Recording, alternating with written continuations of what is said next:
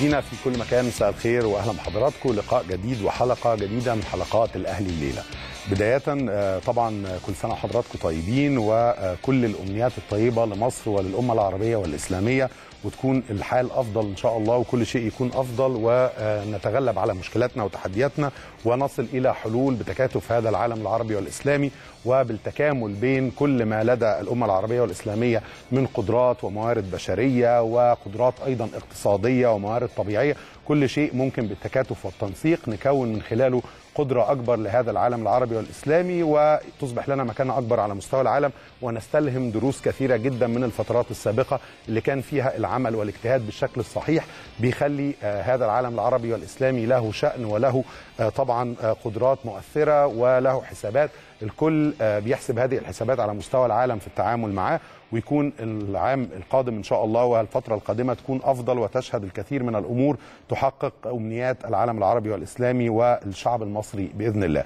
إحنا بنحتفل مع حضراتكم طبعا بذكرى المولد النبوي الشريف وبنستلهم دايما الكثير من الدروس المستفادة من سيرة النبي الكريم آه، عليه الصلاة والسلام وأيضا عندنا خبر آخر كمان صار جدا لكل محبي النادي الأهلي ومشاهدي القناة ومحبي كمان الأسطورة أسطورة الرياضة والكرة المصرية ورئيس مجلس إدارة النادي الأهلي الكابتن محمود الخطيب اللي بنبدأ بتطمينات لحضراتكم بعد التصريحات اللي ادلى بيها المدير التنفيذي للنادي الأهلي الكابتن محمد مرجان للموقع الرسمي للنادي الأهلي واتكلم من خلالها وأكد إنه الحمد لله رب العالمين تمت العملية الجراحية اللي خضع لها صباح اليوم الكابتن محمود الخطيب في ألمانيا تمت بنجاح وخرج وهو الآن في مرحلة الإفاقة وفي العناية المركزة اللي هيبقى فيها إن شاء الله لمدة يومين بعد كمان وهيخضع بعدها لتأكيدات وتضمينات وعملية متابعة من الطبيب اللي أجرى له أو الجراح اللي أجرى هذه العملية الجراحية وبإذن الله نطمئن على الكابتن الخطيب ويتم آه، الله سبحانه وتعالى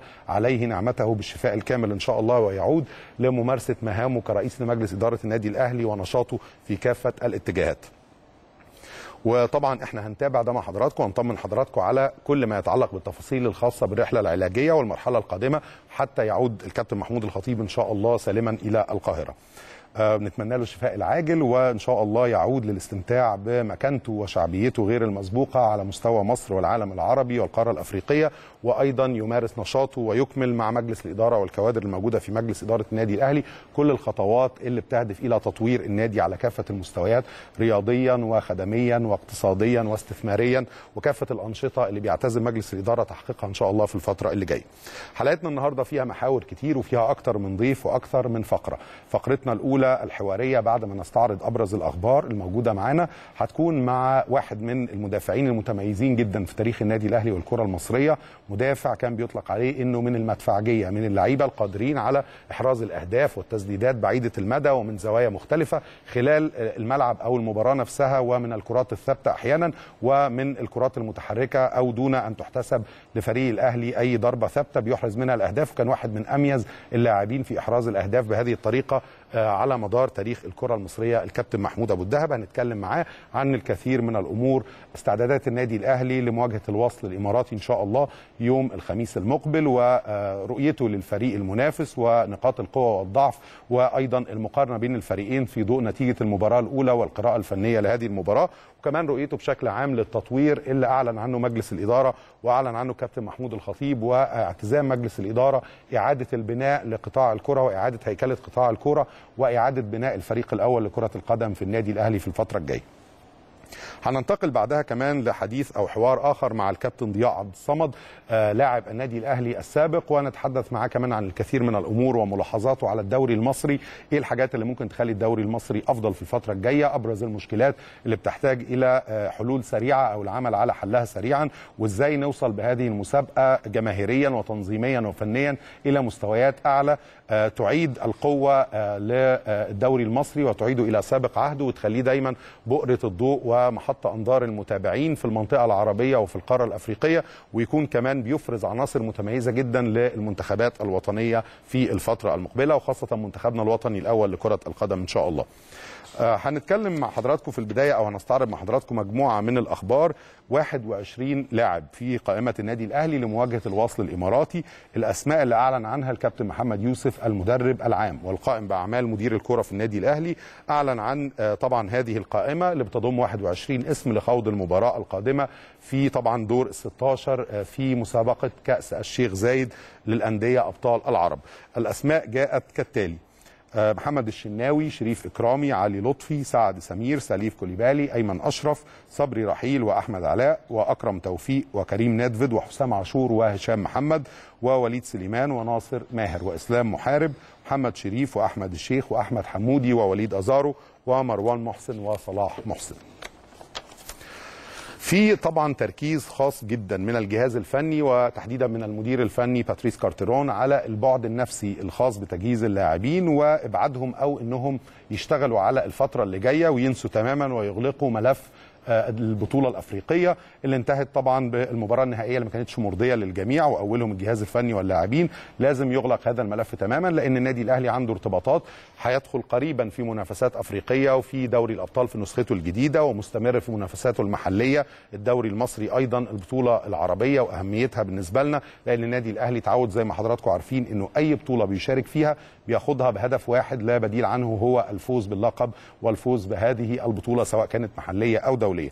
عشان كده باتريس كارترون ركز على هذا الأمر وبيحاول يشتغل على يعني تحسين المناخ معنويا للاعبين وحالتهم النفسية والدوافع عندهم ليصل إلى أفضل معدلات أداء فني وبدني في المباريات اللي جاية بدءا من مباراة الوصل الإماراتي يوم الخميس المقبل. ده كان السبب اللي أدى إلى اجتماعه لمدة 15 دقيقة مع اللاعبين عشان يتكلم معاهم في الكثير من الأمور الخاصة برؤيته الفنية وأيضا بالدوافع اللي بيحاول يخليها موجودة بقوة عند اللاعبين في هذه المرحلة طبعا وده على هامش التدريبات المستمرة طبعا قبل سفر الفريق إلى الإمارات لمواجهة الوصل الإماراتي. الفريق إن شاء الله هيسافر لمواجهة الوصل الإماراتي زي ما قلنا لحضراتكم يوم الخميس المقبل. هذه المباراة مهمة جدا لأنه الفوز فيها في طبعا مجموع نتيجة المباراتين وإجمالي المباراتين اللي بتعتبر شوط منها كان في برج العرب والشوط الثاني هيقام في الإمارات على ملعب الفريق المنافس الوصل الإماراتي وده اللي إن شاء الله من خلاله نتمنى أن إحنا نوفق في هذه المباراة لنصعد إلى الدور ربع النهائي ونستمر في مشوارنا في المنافسة على هذا اللقب البطولة العربية وكأس الشيخ زايد للأندية العربية. انتظام السداسي الأولمبي في تدريبات الأهلي مجموعة متميزة جدا من الشباب ممكن نستفيد بقدراتها في الفترة الجاية وواعده أيضا إن مستقبل الأهلي إن شاء الله مع الصفقات الجديدة ومع العناصر الشابة اللي بتمثل القوام أو النسبة الأكبر من قوام المنتخب الأولمبي المصري هي موجودة بقوة مع الجهاز الفني للمنتخب الأولمبي وده بيعد بأنه الجهاز الفني كمان عنده أوراق متميزة جدا في أعمار سنية مختلفة ومتنوعة وصغيرة يقدر يعتمد عليها وتبقى دافع قوي للفريق يعتمد عليها بقوة فنيا في الفترة اللي جاية إن شاء الله. انتظم لاعبو المنتخب الأولمبي ستة من السداسي ده من نجوم النادي الأهلي في هذه المرحلة وهم مؤثرين جدا في قوام المنتخب الأولمبي المصري. الأسماء دي هي صلاح محسن ومحمود الجزار وأكرم توفيق وأحمد حمدي وكريم ندفد وناصر ماهر. طبعا اللعيبة انضمت خلاص خلصت ارتباطاتها والمباراتين اللي كانوا مع منتخب تونس مباراتين وديتين استعدادات طبعا خاصة بالمنتخب الأولمبي وبعدها بينخرط هذا السداسي في تدريبات الفريق الأول وبإذن الله يستفاد به بالشكل الأمثل ويكون من العناصر القوية جدا والمؤثرة في فريقنا في مبارياته وارتباطاته القادمة. كارترون أعفى كوليبالي من التمرين اليوم ربما شعر اللاعب بأي نوع من الإجهاد أو بأي إصابة طفيفة. فضل على اساسها الجهاز الفني أن يمنحه راحة سلبية اليوم من التدريبات ويعود طبعا المشاركة مع الفريق والانضمام للفريق للسفر إلى الإمارات استعدادا لمباراة الوصل الإماراتي يوم الخميس المقبل. ولهذا غاب سليف كوليبالي عن المران الجماعي اللي أقيم صباح اليوم على ملعب التتش. وإحنا قدامنا طبعا لقطات بنتابعها مع حضراتكم من تدريبات الفريق.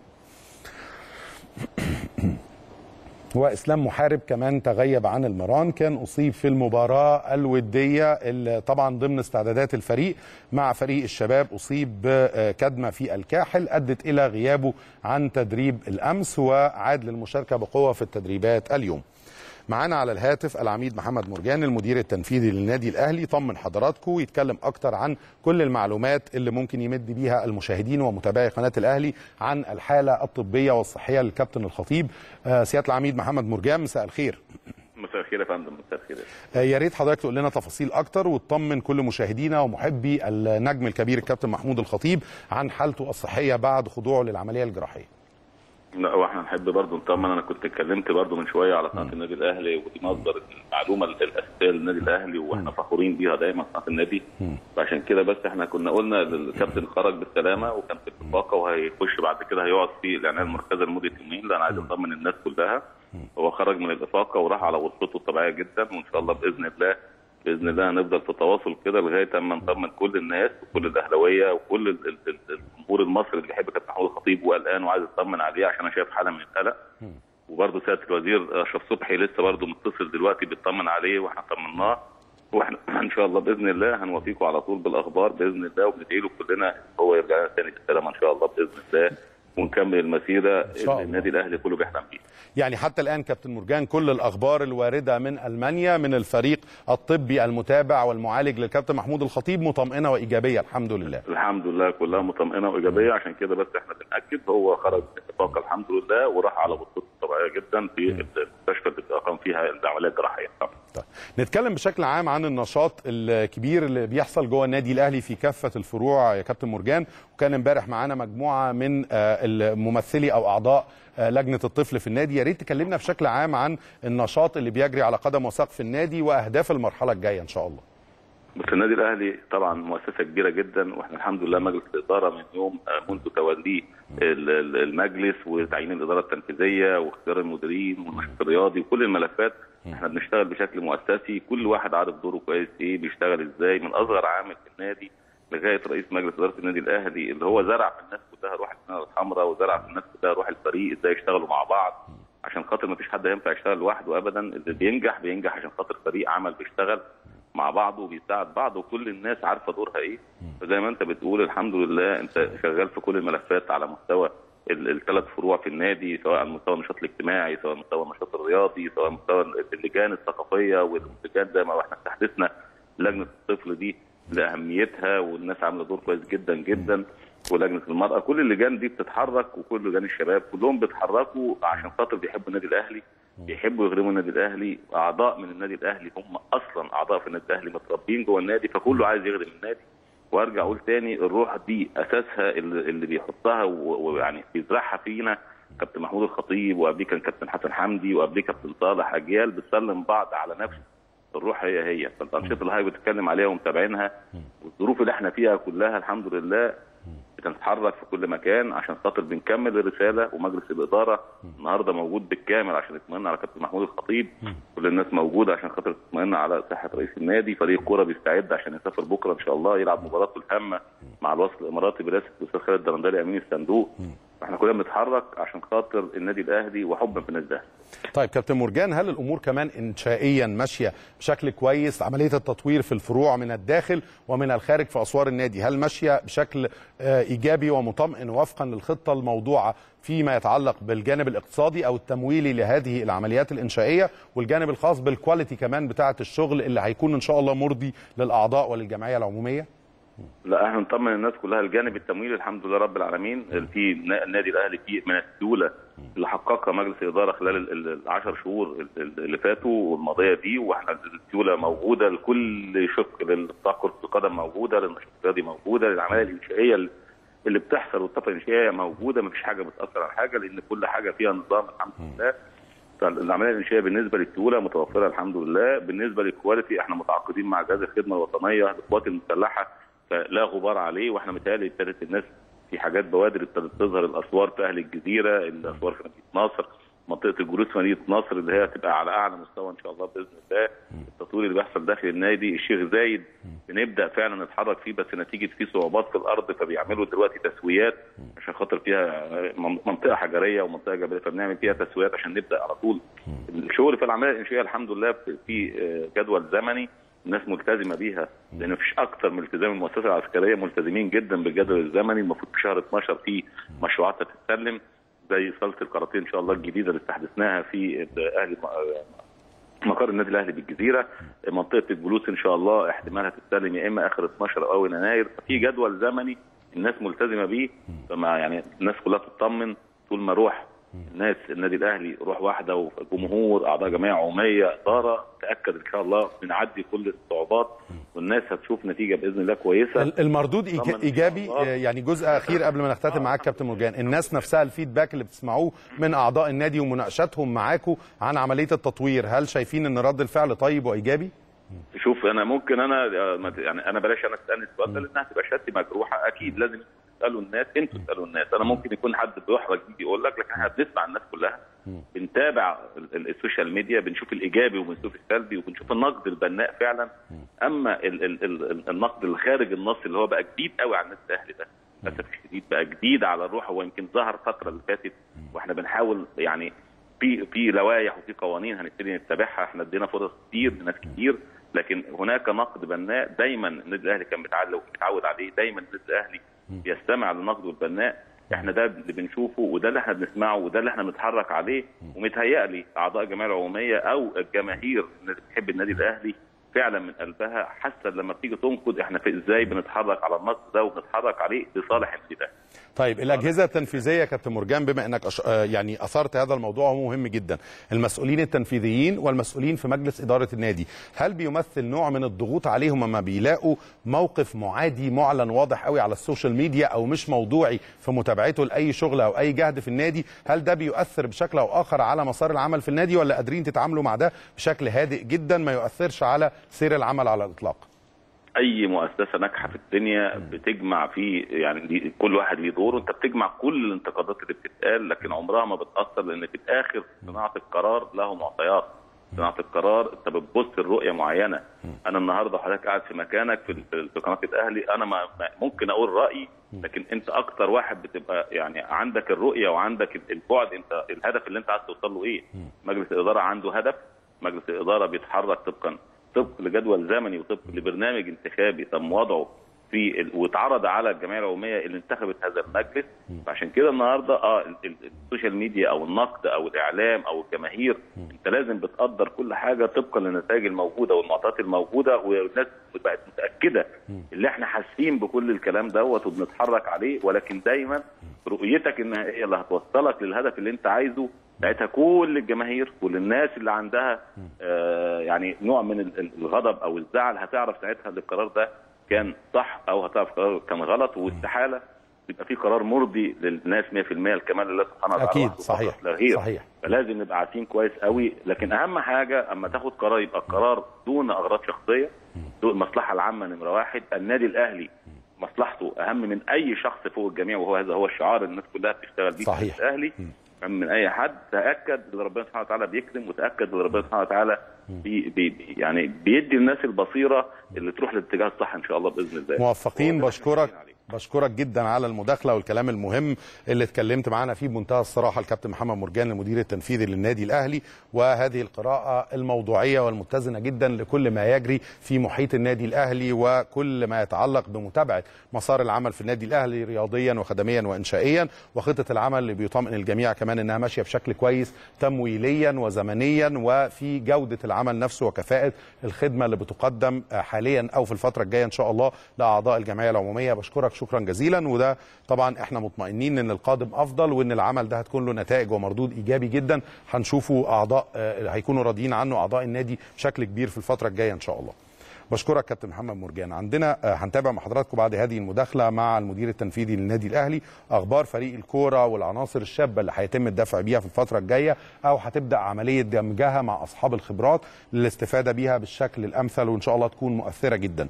آه، أحمد ياسر ريان من العناصر الواعدة دي اللي في آراء كتير بتتمنى له أو بتتوقع له إنه يكون من الأوراق الرابحة قريبا جدا في النادي الأهلي. اكتفى أحمد ياسر ريان بتدريبات بدنية خفيفة بتكليفات من الجهاز الفني والطبي للفريق الأول لأنه بيعاني من إجهاد عضلي بعد المشاركة في المباراة الودية بالأمس مع فريق الشباب واللي أدت إلى عدم مشاركته في التدريبات بالكامل اليوم لكن كان آه، موجود مع الفريق ومتابع لتدريب الفريق وأدى التدريبات الخفيفة اللي طلبت منه من الجهاز الفني والجهاز الطبي. وتدريبات منفردة لشريف إكرامي حارس مرمى النادي الأهلي. اكتفى شريف إكرامي حارس مرمى الفريق الأول آه، لكرة القدم في النادي الأهلي بأداء تدريبات بدنية منفردة. وإحنا شايفين التدريبات اللي بيشارك فيها شريف إكرامي على الشاشة وكان ده ضمن طبعا تدريبات الفريق صباح اليوم. واكتفى أيضا بتدريبات الجري حسب تكليفات الجهازين الفني والطبي للفريق الأول وتدريبات الجيم آه، صاله اللياقة البدنية في النادي ولم يشارك في تدريبات الكرة لحراس المرمى صباح اليوم. هنتقل مع حضراتكم سريعا آه، للاستعداد اللي بيجري على قدم وساق على مستوى النادي الأهلي ونادي شقيقه نادي الوصل الإماراتي للمباراة المهمة في دور ال 16 في آه، كأس زايد للأندية العربية. آه، ده طبعا اللي زي ما قلنا لحضراتكم المباراة المهمة هتجرى يوم الخميس المقبل وفي استعدادات لها تنظيمية وإعلامية وكل شيء من أشقائنا في الإمارات. معانا على الهاتف الأستاذ أحمد البلوشي المتحدث الإعلامي لنادي الوصل الإماراتي. أستاذ أحمد مساء الخير واهلا بحضرتك. مساء النور ومسي عليك ومسي على جميع مشاهدي قناة الأهلي المصري أستاذ محمد أهلا بيك يا أستاذ أحمد. وبالتأكيد هذه المباراة آه، لها حسابات خاصة عند المسؤولين في نادي الوصل الإماراتي. بالتاكيد في استعدادات متميزة جدا لهذا اللقاء اللي إن شاء الله نتمنى إنه يكون لقاء يخرج بشكل رائع ولائق بالشقيقين آه، النادي الأهلي ونادي الوصل. إن شاء الله. طبعا إحنا اليوم مداخلتي معاكم راح تكون خارج المستطيل الاخضر التحضيرات الخارجية للمباراة. طبعا آه، اليوم ولله الحمد وصل آه، بالسلامة الكابتن سمير عدلي آه، لدولة الإمارات وتحديدا دبي. انهينا جميع التحضيرات الخاصة بمقر إقامة بعثة نادي الأهلي. وغدا إن شاء الله التحضيرات لاستقبال البعثة. إن شاء الله راح توصل عصر الغد على مطار دبي إن شاء الله. وعرفنا كمان أستاذ أحمد إنه تم طرح تذاكر المباراة في الإمارات طرحت بالفعل. آه، بالفعل تم طرح آه، تذاكر المباراة اليوم ونقدر نقول إن نفاذ 99% من تذاكر النادي الأهلي متبقي عدد قليل جدا جدا يمكن أقل من 20 تذكرة يعني أنا قبل شوي طالع من النادي أقل من 20 تذكرة وأعداد كبيرة متواجده. هل بتتوقع أستاذ أحمد يبقى في حضور جماهيري كبير لهذه المباراة؟ دايما الأحداث الرياضية اللي بيشارك فيها النادي الأهلي المصري في الم... آه يعني الملاعب أو على استادات آه الإمارات آه العربية الشقيقة بتكون لها وضع خاص وحفاوة جماهيرية سواء من الشعب الإماراتي الشقيق أو من الجماهير المصرية العاملة والمقيمة في الإمارات. توقعاتك لحجم الاحتفاء والحضور والاهتمام الجماهيري بهذه المباراة؟ طبعا لا يخفى عليك نادي الأهلي المصري يعتبر صاحب أكبر قاعدة جماهيرية آه، في مصر. كذلك شعبيته خارج آه، أسوار وحدود مصر. فمتوقعين مباراة جماهيرية من الدرجة الأولى آه، من قبل الناديين يمكن ناديين يحملون تاريخ كبير سواء نادي الأهلي المصري اللي يعتبر نادي القرن آه، في مصر وكذلك نادي الوصل كذلك اللي يعتبر نادي القرن في الإمارات. في قطبين قطبين الرياضه الإماراتية والمصرية يتواجهون فاكيد آه، المباراة راح تكون جماهيرية من الدرجة الأولى. والدليل هو مبيعات التذاكر. اليوم التذاكر أنا عندي نبذة أقدر أقول لك نسبة الأهلي آه، تم تخصيصهم 25% من سعه الاستاد يعني تقدر تقول أرب- 24% من سعه التذاكر انباعت من سعه الاستاد فهذا ياكد أن المباراة راح تكون جماهيرية من الدرجة الأولى. وفنيا كيف تتوقع هذه المباراة والمستوى الفني بعد تعادل الفريقين في المباراة الأولى في برج العرب؟ والله نحن خلصنا الشوط الأول بنتيجة إيجابية. آه نتمنى أن نواصل نواصل بنفس الأداء و- ونطلع بنتيجة إيجابية لكن المباراة أعتقد راح تكون صعبة نوعا ما على فريق الوسط. بحكم أن فريق الأهلي خسر النهائي النهائي البطولة الأفريقية فراح يركز أكثر على على مواجهه المواجهة في كأس زايد. والمباراة راح تكون صعبة على كلا الفريقين. نتمنى أنها تكون للوصلاويه لكن كرة القدم والرياضة لا تتقبل الفوز والخسارة. و- في نهاية المباراة في نهاية المباراة نقول مبروك للفايز وارد لك للفريق الخاسر. البطولة هاي تجمعنا على خير إن شاء الله. وهذه الرياضة يعني. أكيد. ان شاء الله. إحنا هن... أنا هتفق وأختلف معاك يا أستاذ أحمد. أنا هتمناها أهلاوية وأتمنى فوز النادي الأهلي بيها لكن أتفق معاك إننا نتمناها مباراة قوية فنيا تليق بالفريقين وأتفق معاك إنها تكون مباراة صعبة وكل فريق له طموح الفوز بيها ونتمنى طبعا التوفيق لفريقنا في هذه المباراة على أن تخرج لائقة فنيا وجماهيريا وفي الاهتمام والمتابعة الإعلامية لها بالناديين الشقيقين الأهلي المصري والوصل الإماراتي. أخيرا أستاذ أحمد كيف ترصد حجم المتابعة الإعلامية أو الاهتمام الإعلامي الرياضي الإماراتي بهذه المباراة. والله بحكم اني أنا مسؤول عن المكتب الإعلامي مدير المكتب الاعلامي نادي الوصل فاليوم من الصباح الباكر الاتصالات ما شاء الله. سواء الصحافة المحلية في الإمارات الصحافة في جمهورية مصر اتصالات صورة متواصلة. وأنا من أخلص معاك عندي مداخلة ثانية على قناه قناة أخرى. وما شاء الله الاهتمام كبير. آه هذا يدل إن مباراه كبيرة راح تجمع قطبين كبيرين. وإن شاء الله الأمور كلها على قدم وساق سواء التحضيرات الإعلامية للمباراة آه سواء التحضيرات الجماهيرية يعني إذا نتكلم شوية عن التحضيرات الجماهيرية فنحن مخصصين أكثر من ثمان نقاط بيع للوجبات السريعة والخفيفة. والخفيفه المياه راح تتوفر على جميع المداخل. والتحضيرات الخارجيه خارج المستطيل الأخضر نحن بيتم الجاهزيه إن شاء الله الباقي في المستطيل الأخضر على اللاعبين. نحن علينا نجهز خارج الملعب والباقي على اللاعبين. إن شاء الله إن شاء الله يخرج الحدث بشكل لائق. وبشكرك شكرا جزيلا على المشاركة معنا في هذا الحوار الأستاذ أحمد البلوشي المتحدث الإعلامي باسم نادي الوصل الإماراتي. وإحنا على يقين بإذن الله إن النادي الأهلي وبعثة النادي الأهلي في هذه المباراة أو على هامش هذه المباراة هتلقى كل الحفاوة والترحيب والأمور هتكون جيدة ورائعة بإذن الله تنظيميا وجماهيريا واعلاميا في الإمارات في دولة الإمارات العربية الشقيقة. وإن إحنا دايما عهدنا بأشقائنا في الإمارات إن الأمور في التنظيم في الأحداث المهمة وفي المحافل الرياضية الخاصة زي هذه المباراة بيكون على أكمل وجه. إن شاء الله يكون الحدث ممتع لكل المتابعين سواء الجماهير المصرية أو الإماراتية اللي هتكون موجودة في ملعب المباراة. مشاهدينا حنتوقف قليلا مع فاصل قصير ونعود بعد الفاصل لاستقبال ضيفنا الكابتن محمود أبو الدهب نجم الكرة المصرية والنادي الأهلي سابقا ونتابع مع حضراتكم هذا التقرير الأولمبياد الخاص والبعثه الخاصه أو اللي بتستعد للمشاركة في الأولمبياد الخاص وحجم المشاركة أو الاهتمام من عدد من المثقفين والفنانين والشخصيات العامة لزيارة هذه البعثة.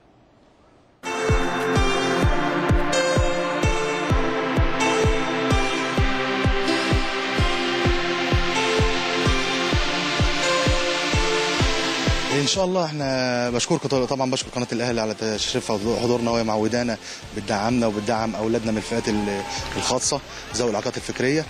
طبعا الحمد لله الإنجاز بيحتاج بس فترة طويلة من الإعداد بيحتاج التدريب كويس للعيبة بيحتاج ماتشات ودية. إحنا لسه راجعين من أمريكا. خدنا أول عالم بالبنات ثالث عالم بالبنات وده أول مرة نشارك في كأس عالم بنات. الحمد لله خدنا ثالث الموضوع صعب طلعنا من البرازيل في ماتش قبل النهائي. طبعا الاستعداد اللي إحنا بنستعد زي ما حققنا في اليونان 2011 خدنا أول عالم بأولادنا من ذوي الأعاقات الفكرية. إحنا عندنا الفريق دمج. بيبقى طبعا نص الفرقة من أولاد ذوي الاعاقه الفكرية ونص الفرقة من أولادنا الأسوياء. طبعا بيبقوا موجودين في أندية لعيبة واللعيبة كلها في الملعب ما تقدرش تفرق ما بين اللعيب اللي عنده اعاقه فكرية أو اللعيب اللي هو غير المعاق يعني. الحمد لله إحنا البعثة المشاركة في الألعاب بعثة الأولمبياد الخاص المصري المشاركة في الألعاب العالمية 2019 مصر مشاركة ب 14 رياضه من الرياضات الأولمبية.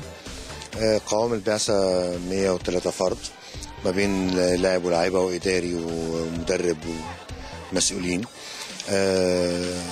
طبعا إحنا ده المعسكر الأول التجريبي لأبطالنا. تعايش وتواصل ما بين اللعيبة والمدربين اكتشاف قدرات واكتشاف تواصل اللاعبين مع المدربين. ومن ونقطة بداية أو نقطة انطلاق لتدريب المنتخبات كل منتخب بقى منهم كل في كل رياضة على حدة. ونتواصل وللمعسكر إن شاء الله الثاني هيكون قبل السفر بفترة كبيرة. وبعد كده في معسكر ثالث بيبقى منه معسكر مغلق ومنه للسفر على طول إن شاء الله للمشاركه في الألعاب العالمية في أبو ظبي.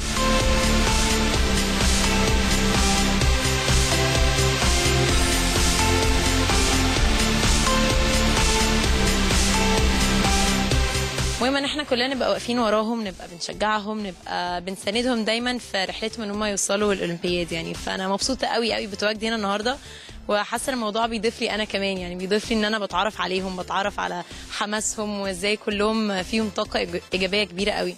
أول ما جيت ادوني ورد وأول حاجة شفتها إن الابتسامة مش بتفارق وش أي حد من اللعيبة ودي حاجة بالنسبة لي آه، بتعبر قوي عن الحالة اللي هم فيها قد إيه متحمسين مبسوطين آه، بيجهزوا فدي حاجة كبيرة قوي. حلو إن إحنا كلنا موجودين هنا إن إحنا بنساندهم وبنقول لهم إحنا معاكم وفخورين بيكم فطبعا في حماس كبير قوي في عينيهم أنا جاية مش عارفة أنا هعمل إيه بالظبط يعني بس لقيتهم هم اللي بياخدوني في حضنهم عادي جدا يعني فكسروا الموضوع لأن أنا أول مرة أشارك في حاجة بالطريقة دي.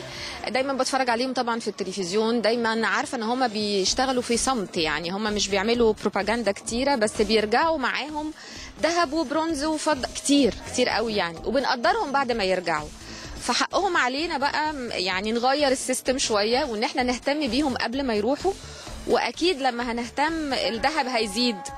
والفضة هيزيد والبرونز هيزيد. أهم حاجة في الموضوع كله إن هم مبسوطين. يعني أنا مش يعني مش متأكدين لسه من الحالة التأهيلية ليهم كرياضيين بس واضح إن هم مؤهلين نفسيا. ودي أهم حاجة في الموضوع كله إن هم ده الدعم فعلا هم محتاجينه يعني. مبسوط إن السنة دي إن في تركيز وفي spotlight اتحط عليهم وده يا رب يفرق في السنين الجاية إن يكون في اهتمام الأول آه، بالموضوع كله عشان يوصل بالشكل المشرف بره يعني.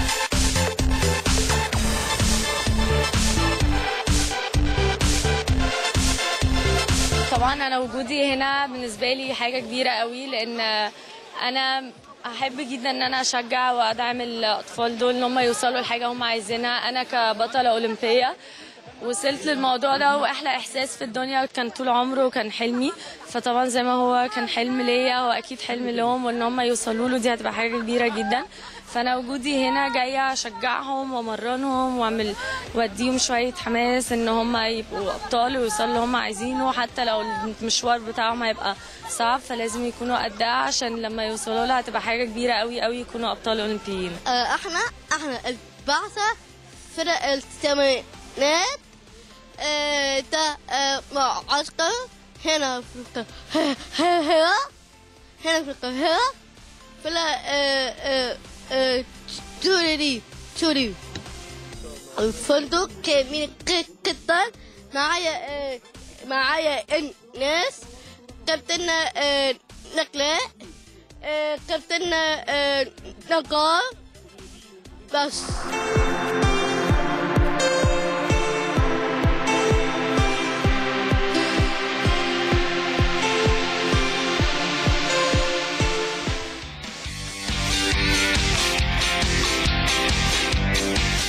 الحقيقة شيء يحترم ويجب تقديره من كل شخصية عامة في مصر في أي مجال بتساهم بأي نوع من أنواع المساهمات أو الجهد لدعم آه، ذوي الاحتياجات الخاصة أو ذوي القدرات الخاصة لأن هذا القطاع والنتائج الإيجابية اللي اتحققت في الفترة اللي فاتت اللي بتشرفنا وتسعدنا جميعا. ده له بعد كمان غير النتائج اللي بتتحقق باسم مصر وغير إن هؤلاء الأبطال عندهم إرادة كبيرة جدا ورغم ظروفهم الخاصة جدا بيقدروا يتغلبوا على ده بإنهم آه، يتدربوا ويمشوا وفق برامج رياضية محددة بتجيب نتائج إيجابية على المستوى العالمي مش بس المستوى ال- القاري أو العربي أو المحلي. حاجة مشرفة وحاجة بتشجع كل أسرة مصرية إن المجتمع فعلا يغير نظرته إنه دايما يتعامل مع هذه الطاقات إنه يفجرها ويشوف إنها طاقات إيجابية وإنه يقدر يستفيد بيها بالشكل الأمثل وإنهم جزء من مجتمعنا يستحق كل الرعاية وكل التقدير وإنه لا الأمور دي لها جانب إنساني وبعد إنساني طبعا كلنا آه، بنحترمه ونقدره. آه، هننتقل بعد متابعة هذا التقرير لضيفنا آه، واحد من المدافعين الأكثر تميزا في تاريخ النادي الأهلي والكرة المصرية لأنه كان مدافع من طراز خاص جدا قدراته الدفاعية كان كمان بتكتمل أو بتزيد عليها قدراته الهجومية وقدراته على التهديف وكانت له أهداف طبعا لا تنسى في ذاكرة جماهير الكرة المصرية وبشكل خاص جماهير النادي الأهلي الكابتن محمود أبو الدهب. مساء الخير يا كابتن محمود واهلا بيك معنا في الأهلي. مساء الخير يا أستاذ محمد أنا سعيد جدا إن أنا ببقى بكون مع حضرتك وبتشرف بيك دايما نتشرف بوجودك. معانا دايما على شاشة قناة. الأهلي حبيبي. بيتك يا كابتن محمود حبيبي. آه هنبدأ بالحديث عن الحدث الأقرب مباراة الأهلي والوصل الإماراتي. تعادل 2 2 في المباراة الأولى. شايف إزاي فرص النادي الأهلي في هذه المباراة على ملعب المنافس؟ وسط كمان حضور جماهيري مصري إماراتي آه متوقع. حضور طبعاً. كبير كمان. يعني خليني أقول لك في البداية إن المباراة الوصل يمكن المباراة أنا فوجئت بمستوى الوصل في المباراة الأولى. المستوى كان عالي جدا آه، كان ند كبير. هم يمكن هم احترموا النادي الأهلي بشكل كبير جدا. عارفين إن هم بيلعبوا نادي كبير بحجم النادي الأهلي. طلعوا كل طاقتهم في المباراة ديت. يمكن النادي الأهلي بيلعب المباراة وكانت عينه على البطولة الأفريقية. أنا بكلمك بصراحة يعني اللعيبة كانت حاسة إن هي قلقانة شوية من أيام المباراة دي لما كانت- اتكلمنا قلت لنا إن رأيك أنا- إن الأهلي الفريق والجهاز الفني مخهم مشغول كله بالبطوله البطوله الأفريقية. أنا يمكن أنا كلمت حضرتك قبل كده وقلت لك إن النادي الأهلي واللعيبة والجهاز الفني والإدارة والجماهير كلها كانت مركزة على البطولة الأفريقية. ما كانش لنا نصيب أو فيها. لكن أنا ممكن اتفاجئ اتفاجئنا بالمستوى بتاع الوصل بشكل كبير جدا. يمكن قدروا يجيبوا فينا جونين هنا في القاهرة. النادي الأهلي قادر إن هو يعوض في المباراة اللي هي هتبقى موجودة في الإمارات إن شاء الله يمكن سمعت حضرتك وكان في مداخلة من أحد الزملاء في الإمارات. المتحدث الإعلامي المتحدث الإعلامي. عايز أقول لك على حاجة بيبقى حدث كبير جدا إن النا- النادي الأهلي لما بينزل في أي بلد عربية يعني بيبقى سفير يعني النادي الأهلي سفير لمصر في البطولات ديت خصوصا إن أنت النادي الأهلي ليه شعبية كبيرة جدا في البلاد اللي في الخليج بالذات.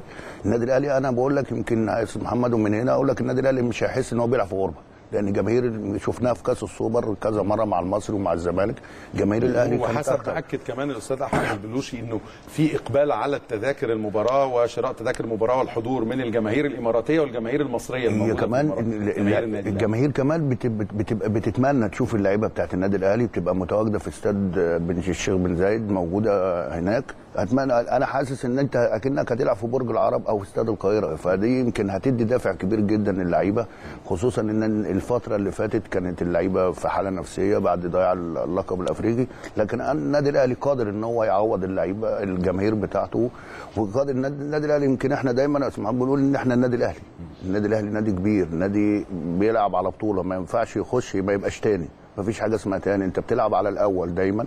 فالنادي الأهلي لما بيخش في أي بطولة لازم إن شاء الله بينافس على الأول فأعتقد النادي الاهلي قادر باللعيبة اللي موجودة قادر إن شاء الله يعدي المباراة دي. آه، فكرة إنه الجهاز الفني كان عندنا خبر في بداية الحلقة دي إن آه، باتريس كارترون المدير الفني بيشتغل على تهيئة اللاعبين نفسيا. هل طبعا. أنتم مريتوا خلال فترة وجودك في الملعب يا كابتن محمود بمراحل زي دي؟ بتحتاجوا شغل من الجهاز الفني؟ بتحتاجوا ان أنتم كمجموعة لعيبة تتكاتفوا مع بعض وتخرجوا من أي حالة سلبية بتكونوا فيها في بعض الفترات نتيجه للنتائج؟ محمد بص إحنا آه، يعني. يعني أنا عايز أقول لك على حاجة. يمكن أنا كنت من ال- الناس المحظوظة أو لعيبة كنت بعتبر نفسي محظوظ ان أنا كنت بلعب مع لعيبة كبار. لعيبة بحجم بتكلمنا بتوجهنا بشكل كبير جدا. مش عايز أقول لك إن إحنا لو خسرنا بطولة لا إحنا لو كنا تعادلنا. كان الكابتن شوبير أو الكابتن أسامة عرابي أو الكابتن هم كباتن الفريق اللي كان بيلمونا. يعني بعيد عن الجهاز الفني. الجهاز الفني ليه كلام واللعيبة وإحنا كلعيبة مع بعض الناس الكبيرة كان بتلمنا. كنا بنقعد مع بعض بشكل كبير جدا إن إحنا لازم نرجع. ما ينفعش إن إحنا نتعادل. ما ينفعش ما ينفعش. فكنا اللعيبة بتلم نفسها بشكل كبير.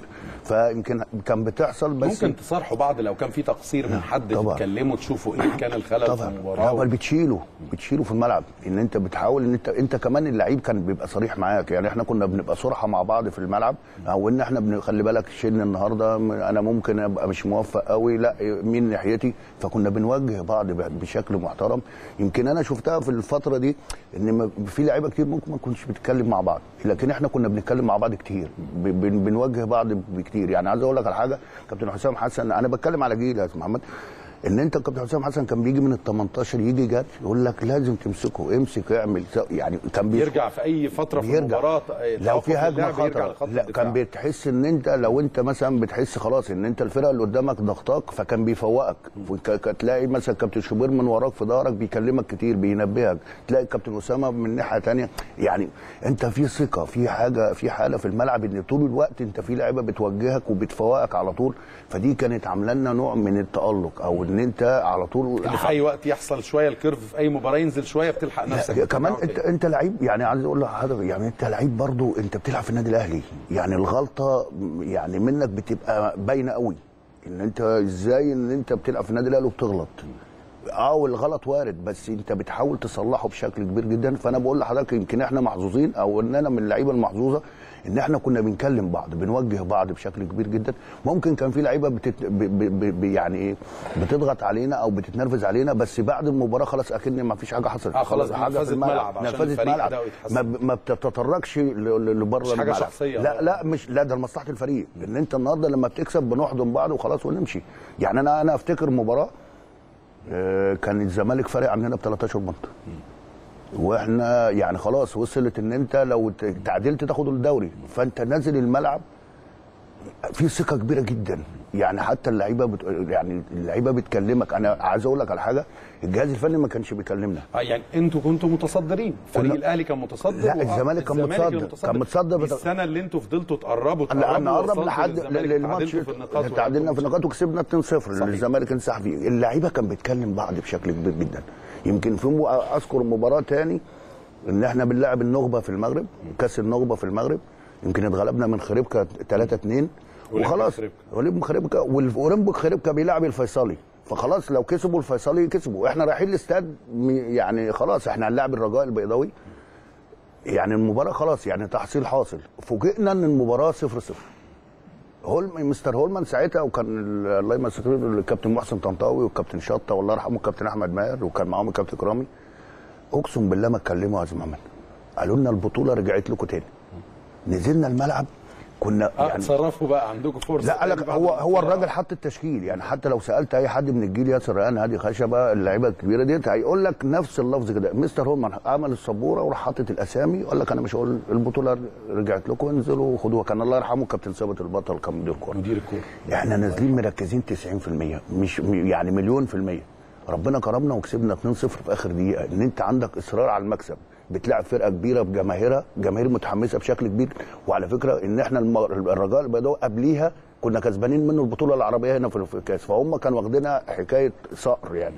فربنا كرمك وكسبت لأن أنت من جواك عندك عزيمة وإصرار إن أنت تكسب. لأن أنت بتلعب في نادي كبير النادي الأهلي. النادي الأهلي دايما اتعودنا إن بيلعب على المركز الأول بيلعب على البطولة.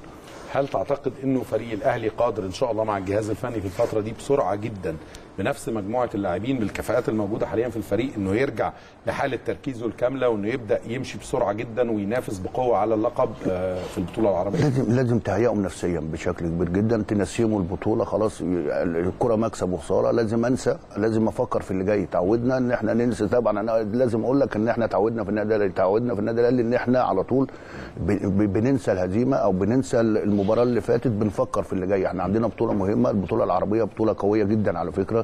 فيها من أحسن الفرق اللي موجودة في في في ال- البلاد العربية.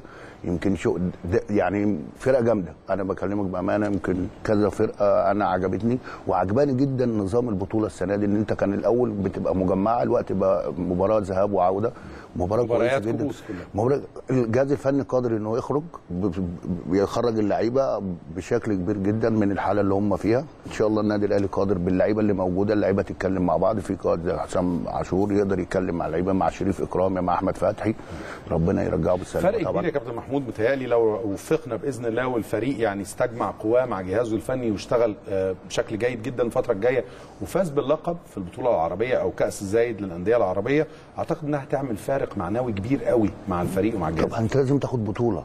يعني انت النهارده النادي الاهلي ما ينفعش ان انت تخش النادي الاهلي زي ما قلت لحضرتك من بداية الموسم بيفكر ان هو رقم واحد بينافس على البطولة. انت بتخش في ثلاث أربع بطولات انت بتلعب عليهم. ما فيش حاجة اسمها مركز ثاني ومركز ثالث والكلام ده. انت بتلعب على بطولة الدوري. اي على بطولة الدوري على بطولة الكاس على الأبطال الأفريقي أبطال الدوري.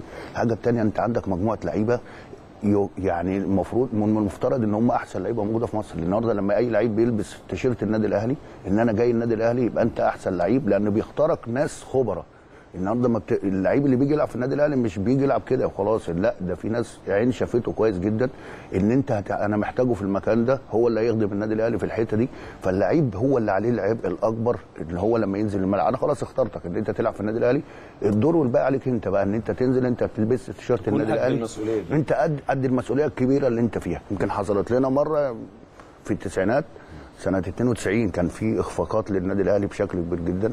في الفترة دي يمكن أنا جيت أنا وكابتن جمال السيد وعمرو الحديدي وكابتن رضا عبعال وكان فيليكس أبواه يمكن الحمد لله يمكن يعني دخلنا في المنظومة بتاعت النادي الأهلي بشكل كبير جدا قدرنا ناخد. النتائج اتحسنت النتائج اتحسنت بشكل كبير جدا. كان معانا مستر هاريس وبعد كده مستر هولمان. يمكن النتائج بشكل كبير جدا اتحسنت. فدي يمكن ممكن يكون كبوة وبتحصل للنادي الأهلي. مش عاوز أقول لك كبوة هي ظروف مباراة أو ظروف أو فترة بتعدي. لكن إن شاء الله الاهلي الأهلي قادر ان هو هنرجع يعني نكمل كلامنا عن تصريحات الكابتن محمود. الخطيب عن آه، صفقات في الفترة الجاية ما, ما أطلق عليه إعادة بناء لفريق الكورة وإعادة ترتيب لأوراق خاصة بقطاع الكورة في النادي أو تطوير كل ما يتعلق بأمور كرة القدم في النادي. لكن بعد ما نتوقف مع هذا التقرير ونتكلم أو نسمع حضراتكم رأي بعض الجماهير في هذه المباراة مباراة الأهلي والوصل الإماراتي.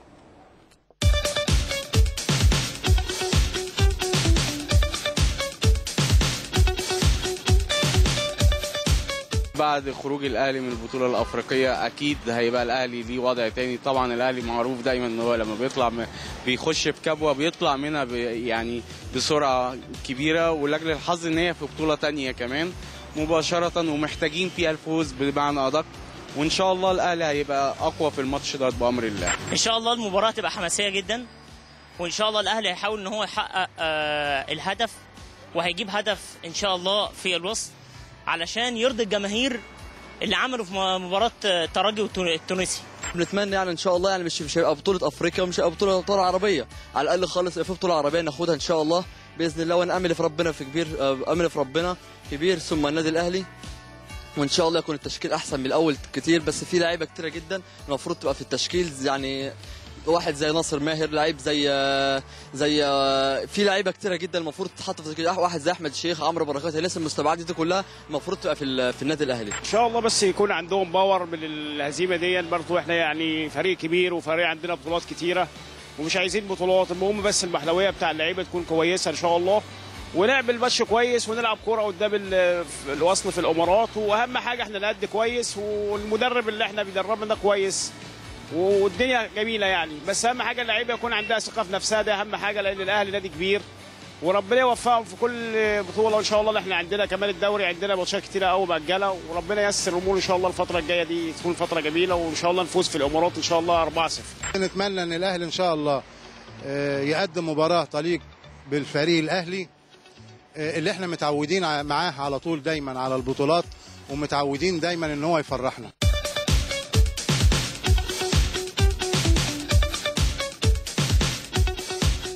آه كابتن محمود أبو الدهب تعليقك على آراء ال- الجماهير يعني- اللي سمعناها في التقرير. يعني يعني الكلام ما اختلفش كتير على اللي إحنا بنقوله. الناس محبة للنادي الأهلي فاهمة كويس جدا في الكورة متابعة النادي الأهلي بشكل كبير جدا. يمكن يمكن في ناس اتكلمت إن في كوادر في لعيبة كويسة جدا لازم تاخد الفرصة زي أحمد حمدي زي عمرو بركات زي أحمد الشيخ. اللعيبة دي ما خدتش فرص طب هتاخد إمتى فرص؟ أنت حكمت عليهم إزاي؟ لازم يلعبوا. ولازم اديهم عشان يلعبوا. مش بس الناس بتقول إن هم ما خدوش الفرص الناس شايفة كمان حسب ما بنسمع في الآراء طول الوقت في مناقشاتنا مع الناس أو في التقارير شايفة إن دي كوادر عندها إمكانيات فنية ومواهب عالية جدا. ولسه صغيرين يعني اللعيب النهارده هي... لازم ياخد عشان يدي يقدر يدي في الملعب. النهارده مش هيبقى في يوم وليلة متألق لا بياخد وقت وبياخد فرصة يلعب لازم يدي ولازم عشان يوصل يشارك. لإنه يبقى مستواه ثابت طبعا. ويشارك بشكل كبير جدا. ال- الاستمرارية على طول للعيبة محمد بتدي له التألق. خلاص انسجم مع الفريق انسجم مع التيم. خد الفرصة بشكل كبير بياخد ثقة فبالتالي آه، يعني الطاقة اللي عنده هتطلع في الملعب يقدر يدي بشكل كبير جدا. يعني متفق مع الآراء اللي بتقول إن لسه في أوراق مؤثرة جدا ورابحة في النادي الأهلي مش مستفاد بيها بالشكل الأفضل أنت عندك عندك لعيبة لعيبة كبيرة جدا. يعني عندك ناصر ماهر ده كان متألق في سموحة بشكل كويس جدا. أحمد الشيخ كان هداف. الدوري في المقاصة وكان بيلعب منتخب مصر. يعني هل مع مع إحنا برضو في مش عايزين نلوم الجهاز الفني. ممكن النهارده عيب عند مين؟ عند اللعيبه ولا عند الجهاز الفني؟ طب اللعيب ولا الجهاز الفني إحنا دايما بنقول لو الجهاز الفني عنده لعيب كويس استحالة إن هو يقعده بره أو يركنه بره لواحد زي ناصر ماهر من اللعيبة كويسة جدا يعني ويمكن إحنا توسمنا فيه إن هو كان بدأ الدفع بيه كان المدير وكان بياخد وبيشارك بشكل كبير جدا. عندك محمد شريف كان لعيب متألق مع وادي دجلة بشكل محترم النهارده عشان يجي النادي الأهلي لا أنت متألق وبشكل محترم. في لعيبة أحمد حمدي من اللعيبة الكويسة مهاريا وراجل لسه صغير وموجود في قطاع الناشئين يعني راجل متربي على البطوله إن هو يطلع شارب من المدربين اللي مسكته إن هو عنده انتماء للنادي الأهلي وعنده بطولة بشكل كبير طيب آه، في نفس الإطار اللي بنتكلم فيه وكمان آه، بتتفق مع المثال اللي اتكلمت عنه من شوية يا كابتن محمود حضرتك اتكلمت عن فترة آه، انضميت فيها مع مجموعة نجوم النادي طبعاً. الأهلي حسن بهذه التعاقدات وأعاد الفريق لمساره هل إحنا بصدد فترة زي دي؟ لأن في تصريحات سابقة في مداخلة هاتفية لقناة الأهلي كانت الكابتن محمود الخطيب رئيس مجلس الإدارة آه، قال يعني حرفيا إعادة بناء فريق الكره في النادي الأهلي وده معناه إما إنه في أوراق هيستفاد بيها أو هيعاد تدوير العناصر الموجودة واللاعبين بأفضل شكل أو مرحلة جديدة من الصفقات والإضافات للفريق. هل لا. إحنا محتاجين آه، مجموعة صفقات مؤثرة في الفترة الجاية؟ أنت محتاج أنت محتاج صفقات. يمكن الكابتن الخطيب لما بقول بناء هو ممكن أصل أنت مش هتبني في يوم وليلة. يعني ما طبعا الكابتن الخطيب قيمة كبيرة ربنا يجيبه بالسلامة طبعا. والعملية الحمد لله. يمكن أنا سمعت الأستاذ محمد مكان في مكالمه حضرتك. أتمنى له الشفاء ويرجع بالسلامة إن شاء الله. الكابتن الخطيب قيمة كبيرة. لما يتكلم على فريق الكورة يعني يعني كلنا لازم نسمع. النهارده محب للنادي الأهلي بشكل كبير جدا. أعتقد النهارده لما يجيب شخصية زي الأستاذ كابتن هيثم عرابي إن هو راجل عامل صفقات كويسة جدا في الفترة اللي جاية بيقدر يأثر بشكل كبير جدا مع اللعيبة. إن شاء الله يمكن أنا ب... أنا شايف إن هو بيتكلم عن تد- تدعيمات. والنادي الأهلي فعلا محتاج تدعيمات في الفترة الجاية. ما إحنا قلنا محتاج تدعيمات في خط الدفاع في مركز الظهير الأيمن في نص الملعب في الفيرود يمكن إحنا عندنا شوية مشاكل في الحتة ديت لكن هي ممكن الفترة دي ما تسعفوش. لكن أنت الوقت اللي لكن بتتكلم عن رؤيتك إن. في بناء للفريق جاي على مراحل. على مراحل. لو. انت المرحلة اللي جاية يناير إن أنت تجيب لعيبة إن تقدر تسد ال- ال- الفقرات أي- أي قصور موجود الاصابات القصور اللي موجودة لأن أنت عندك إصابات. يمكن إحنا شفنا في الفترة اللي فاتت الإصابات حرمتنا من لعيبة كبيرة جدا زي أحمد فتحي وعندك مع معلول مع محمد. نبيل اجاييه يمكن اللعيبة دي مؤثرة بشكل كبير جدا. فأعتقد إن الكابتن الخطيب بيتكلم على المرحلة اللي هي دلوقتي اللي هي في يناير إن أنا أقدر أدعم وخصوصا إنه جاب شخصية زي هيثم عرابي يبقى موجود أو كان قبل كده يمكن إحنا كان مع مانويل جوزيه أو مع كابتن حسام البدري كان عمل صفقات كويسة جدا ونجاحه للنادي الأهلي.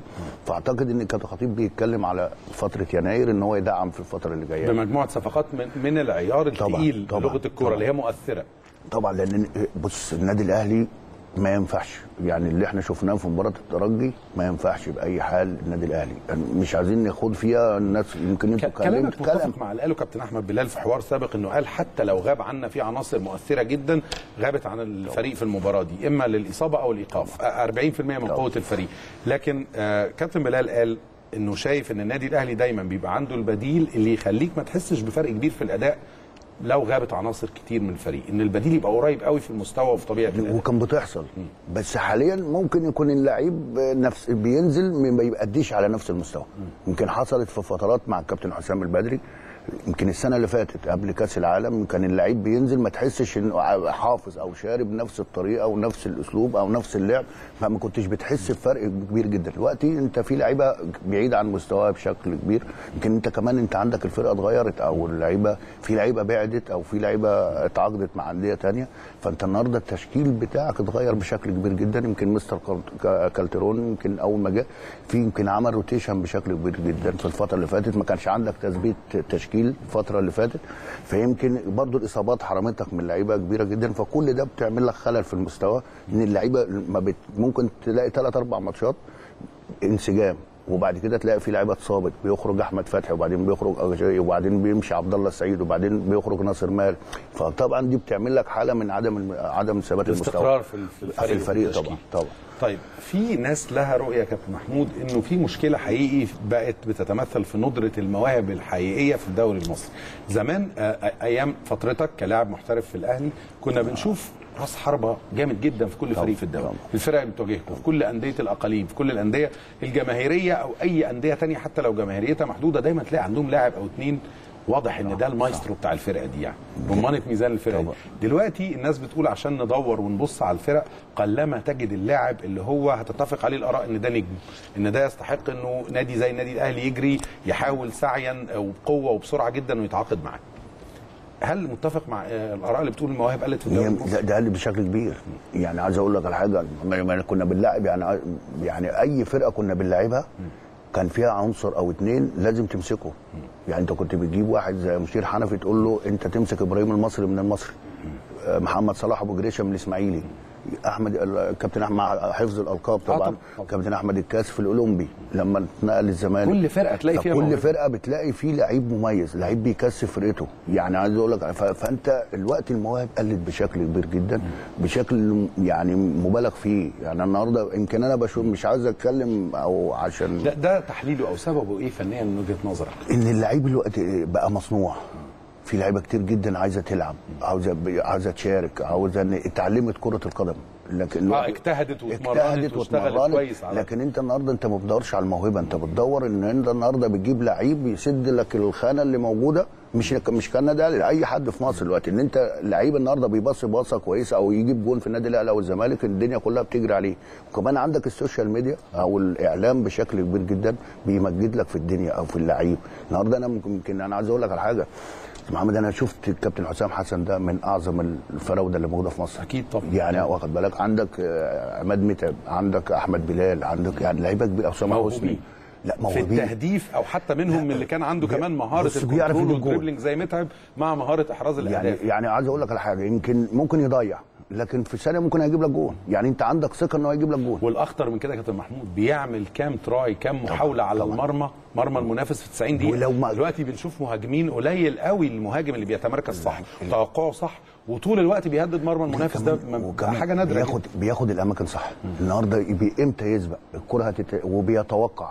النهارده مثلا لو يعني عايز أقول لك حاجة كان اللعيب برضو بيتمرن عليها. يعني أنا أنا أفتكر مرة الكابتن حسام على طول كان بيتمرن. بتكلم على الجيل بتاعنا اللي أنا حضرته في النادي الأهلي كان بيتمرنوا عليها بشكل كبير جدا. كان بيحط تقريبا cones إن هو يجري يخطف من قدام ال forward آه، المدافع عشان يجيب جول. لكن أنت النهارده ما بيستناش الكورة هو اللي بيروح للكورة. إن أنت ما تستناش الكورة إن هي تجيلي. أنا بحاول إن أنا أروح للكورة لأن أنا أسبق ال- ال- الخصم. فأنت عندك المواهب قلت بشكل كبير جدا خصوصا عندك الأكاديميات في مصر. فتحت بطريقة غريبة جدا في مصر إن أنت عندك اللعيب دلوقتي بقى مش يعني مش موهوب بقى مصنوع. أنا أنا أنا من وجهة نظري كده. طب الأكاديميات دي المفروض إنها إنها تعليم. ميزة مش عيب. يعني تعليم. المفروض إنها ميزة إنها هتدي. فرص. لأسر كتير جدا تودي أولادها واللي عنده موهبة حقيقية هيكتشف وهيكمل. بس ما تاخدش أي حد. إن أنت النهارده مش عشان أجمع المال. آه عندك مشكلة فكرة إن الأكاديمية خلاص إن هتقبل أي حد لأنها لها اشتراك لا ولها نظام مالي معين. عندها اشتراك وعندها نظام مالي فبتقبل أي حد. لكن أنت النهارده يعني يمكن أنا سمعت إن الدولة عايزه تعمل الألف موهبة. مشروع ده الألف بشكل موهبة. ده ده ده, ده يمكن أنا من الناس اللي بتفق عليه جدا. ده محترم بشكل كبير جدا إن أنت بتوصل اللعيب أو توصل ال- الولد الناشئ انه إنه يبقى محترف يبقى عندك محترف. والحاجات دي إحنا اتأخرنا فيها كتير جدا. بس بشرط إن أنت تجيب مدربين مارسوا كرة القدم مش أي حد. إن أنت لعيب المدرب اللي يجي يمسك الولد اللي هيعلمه حتى النهارده حتى أنا بقولها في قطاع الناشئين يا محمد إن أنت ما تجيبش أي حد يمسك في قطاع الناشئين في أي حتة في في الأندية. إن أنت لازم يكون مدرب أو يكون لاعب شارك بشكل كبير جدا عشان يدي أساسيات. ويكون من النوع اللي عينه بتشوف اللاعب الموهوب. طبعا لازم تقدر. تميز بين لاعب عادي طبعاً. هيبقى بيجتهد أو لاعب مصنوع زي ما قلت ما أنا بقول وبين لاعب مميز في موهبه الحاجة كمان إن اللعيب النهارده أنت النهارده أنا كلاعب لما يجي يمسكني النهارده كابتن أنور سلام أو كابتن الله يرحمه كابتن جاري أو أي اوت ايفر كابتن فاروق جعفر. الناس دي أنا يعني أنا ببص للناس دي إن أنا هتعلم منهم هيأسسوني صح. أنا كلاعب كورة إن أنا لازم أتأسس من تحت صح بشكل كبير جدا عشان أفيد النادي الأهلي وأفيد منتخب مصر. لو أنا اتأسست صح أنا كده 90% ابقى لعيب كرة قدم. النهارده في لعيبه كرة قدم في منتخب مصر يا محمد ما بتعرفش تقف. يعني يعني مش أنا آسف في الل- في اللفظ بس أنا فعلا يمكن عندنا أخطاء بتحصل أخطاء في جميع الفرق المصرية الكوره العرضية.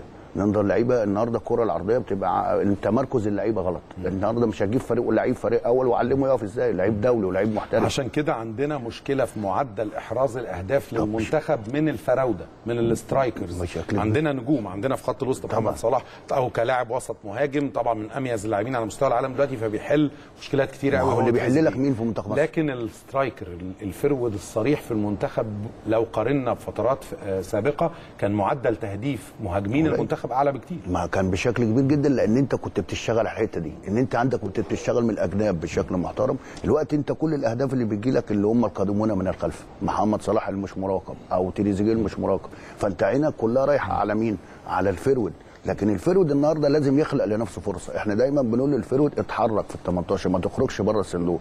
لو اتحركت بشكل كبير جدا هتقدر تجيب جول لكن ال forward زمان لما ما- ارجع لحضرتك اللي انت بتقول موهوب. ما هو موهوب عشان بيخلق لنفسه فرصة ان هو عايز يجيب جول عنده حمية ان هو مهمته رقم واحد في الدنيا في الملعب انه يجيب جول زي زي المدافع ان هو بيقطع ما ما ياخدش في الجول على ذكر نجمنا محمد صلاح آه، منذ قليل. هو آه، عمل آه، طبعا على تويتر كتب على تويتر آه، على صفحته الخاصة أو حسابه الخاص في تويتر. ألف سلامة للكابتن محمود الخطيب وأتمنى له الشفاء العاجل. محمد صلاح الحقيقة رغم طبعا انشغاله بارتباطاته مع نادي ليفربول ومكانته اللي أصبحت مرموقة جدا عالميا في ملاعب كرة القدم وفي بورصة اللاعبين أو الحديث عن فرصه للانتقال من نادي الآخر وقيمته التسويقية اللي بقت من الأعلى ضمن أعلى مجموعة من اللاعبين على مستوى العالم حاليا ورغم هذا الكم من النجاح إلا إنه دايما حريص على المشاركة مع المجتمع المصري ومع الوسط الرياضي المصري في كل الأحداث وبيهتم بكل التفاصيل دي ويعلق عليها وبالتأكيد بيحمل قيمة خاصة للكابتن آه، ومحبة وتقدير خاص جدا للكابتن محمود الخطيب بما له من مكانة طبعا على مستوى نجوميته وتاريخه الاستثنائي جدا كلاعب وواحد من آه، طبعا المواهب النادرة وأسطورة الكرة المصرية. وأيضا مكانته الخاصة آه، اللي وصل إليها اليوم كرئيس لمجلس إدارة النادي الأهلي ده كله طبعا بالتأكيد بيحمل محمد صلاح على الاهتمام والمتابعة وبالتأكيد هو من المحبين والم... واللي بيحملوا تقدير كبير للكابتن محمود الخطيب. آه كابتن محمود نكمل كلامنا عن فكرة إنه إزاي نطور من أداء لاعبينا علشان ده ينعكس على مستوى الدوري المصري وعلى مستوى المنتخب الوطني من العناصر. مش كل عناصرنا محترفين. لا طبعا. مع المجموعة المتميزة من المحترفين خارج مصر الدوري بنحتاج الأجهزة الفنية للمنتخب تعتمد على أوراق من داخل الدوري المصري. أحيانا ما بتلاقيش اللعيبة أدائها على المستوى اللي بيرضي طموح الجماهير. أو الجهاز الفني ما نفسه. عشان في فارق يا محمد بين اللعيب المحترف واللعيب اللي موجود في مصر. إن أنت في فرق بشكل كبير جدا. اللعيب اللي مو... خلاص اللعيب يعني بنشوف محمد صلاح بيتألق بشكل كبير جدا مع ليفربول.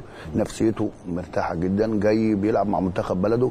فعليه مسؤولية كبيرة أكبر. اللعيب المحترف بيبقى جاي عليه مسؤولية أكبر إن هو راجل محترف راجل بيلعب في نادي كبير. يمكن إحنا شفنا تريزيجيه شفنا النني شفنا محمد صلاح. عمرو وردة إن أنت جاي منتخب مصر أنت جاي تكسبني. أنت مش جاي تقضي واجب وتمشي. لا أنت جاي تكسب. فالناس جاية تشوف منك الكتير أو مستنية منك الكثير. فأعتقد إن دي بشكل كبير. الحاجة الثانية إن أنت في الدوري المصري اللعيب النهارده ممكن يعني مستواه ما يبقاش ثابت. مرة يبقى كويس مره ماتش ممكن تلاقي الماتش اللي بعده ما يبقاش كويس أو مستواه بيقل في في المستوى. لكن اللعيب المحترف عليه مسؤوليات كبيرة جدا عليه spot بشكل كبير جدا إنه لازم يبقى كويس لأن الحاجات دي بتديله بونص كمان بشكل محترم. يمكن شفنا محمد صلاح بيتألق بشكل كبير جدا. يمكن كمان عجبني محمد صلاح لما جاب الجول في تونس يعني يمكن عنده غيرة إن هو يجيب الجون ويقلع الفانيلا كان عنده كبت أو عنده زي ما نقول إيه يعني مبسوط وفرحان يمكن زي ما يكون أول مرة يجيب هدف الماتش ده كان كان يعني طبعا. تحدي للمنتخب هو لأن تحدي. إحنا إحنا بنتكلم على أول فوز في مباراة رسمية على طبعا. مدار كام سنة؟ طبعا، سنة بقالك فترة. على ما أتذكر 2002 2002 أنت ما كسبتش تونس آه، ما كسبتش المنتخب التونسي في مباراة رسمية فده يعني تحدي له طبعا. مكانته الخاصة وقدراته طبعا. الخاصة في المنتخب بما يحمله من قيمة دلوقتي فنية عالمية محمد صلاح إنه كان عايز يعمل حاجة. وعايز يكمل مجهود زملائه بإنه يحسم اللقاء هو ده ده قيمة اللعيب ان أنا زي ما بقول لحضرتك إن هو متحمل مسؤولية حاطط شايل على عيدكم بلد بكام الملفت بقى يا كابتن محمود رأيك في المساحة الصغيرة جدا أمتار قليلة جدا اللي اتصرف فيها بمنتهى الذكاء والسرعة بالكورة؟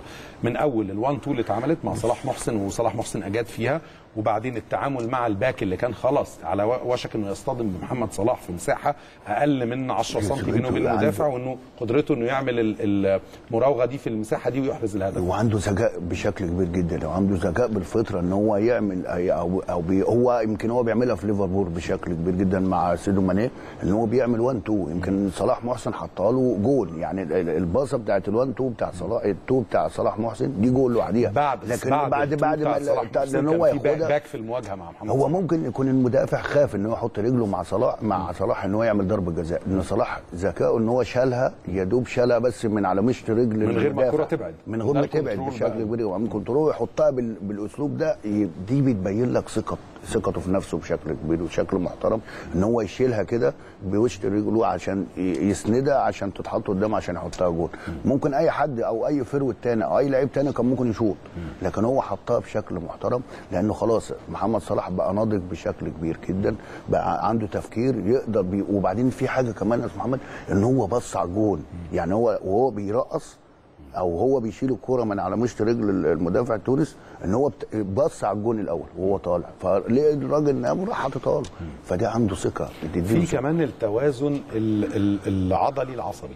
طبعا. الحركي العصبي طبعاً. انه هو- جسمه قادر عشان التمارين والفتنس والالتزام والسرعة والوزن اللي محافظ عليه يقدر جسمه يلبي الفكرة اللي عنده في جزء من السنة ما هو خلاص هو بيفكر الوقت بيلعب بدماغه. يعني لعيب الكورة دايما لازم يشغل دماغه طول الوقت يكون عنده تركيز بشكل كبير جدا. إن هو طول ما هو موجود في الملعب بيفكر وعنده تركيز. زي ما إحنا بنقول أي لعيب النهارده أي مدير فني بيخش أي محاضرة نمرة واحد بيكتب لك التركيز. واحد اتنين رقم واحد واثنين وثلاثة التركيز في الملعب. تركيز 90 دقيقة. انت لو فقدت التركيز لمدة ثانية ممكن تستلم منك المباراة من أي لعيب في الم- في المجموعة. لكن محمد صلاح يعني نضج بشكل كبير جدا. كان أنا سعيد جدا. يمكن الناس ما فرحتش إن مصر جابت جول قد ما فرحت إن صلاح اللي جاب الجول فدي كمان عملت لك حالة محترمة في منتخب مصر عموما هو كانت كمان لفتة متوقعة منه لأنه أكيد طبعا. من هو طفل يعني من ومن بداية تعرفه بعالم كرة القدم وهو بالنسبة له آه اسم محمود الخطيب هذا النجم الكبير يعني. علامة خاصة جدا في عالم كرة القدم المصرية والعربية والأفريقية وأكيد كان بالنسبة له وهو في مرحلة طبعا. الطفولة أو لاعب ناشئ آه كان حلم بالنسبة له يعني المكانة اللي بيوصل لها نجوم بحجم الموهبة اللي شفناها عند الكابتن محمود الخطيب أكيد بتمثل حلم للكثير من اللاعبين وربنا وفقه ووصل إلى مكانة عالمية النهارده. محمد صلاح غير مسبوقة. ونتمنى له مزيد من النجاح إن شاء الله.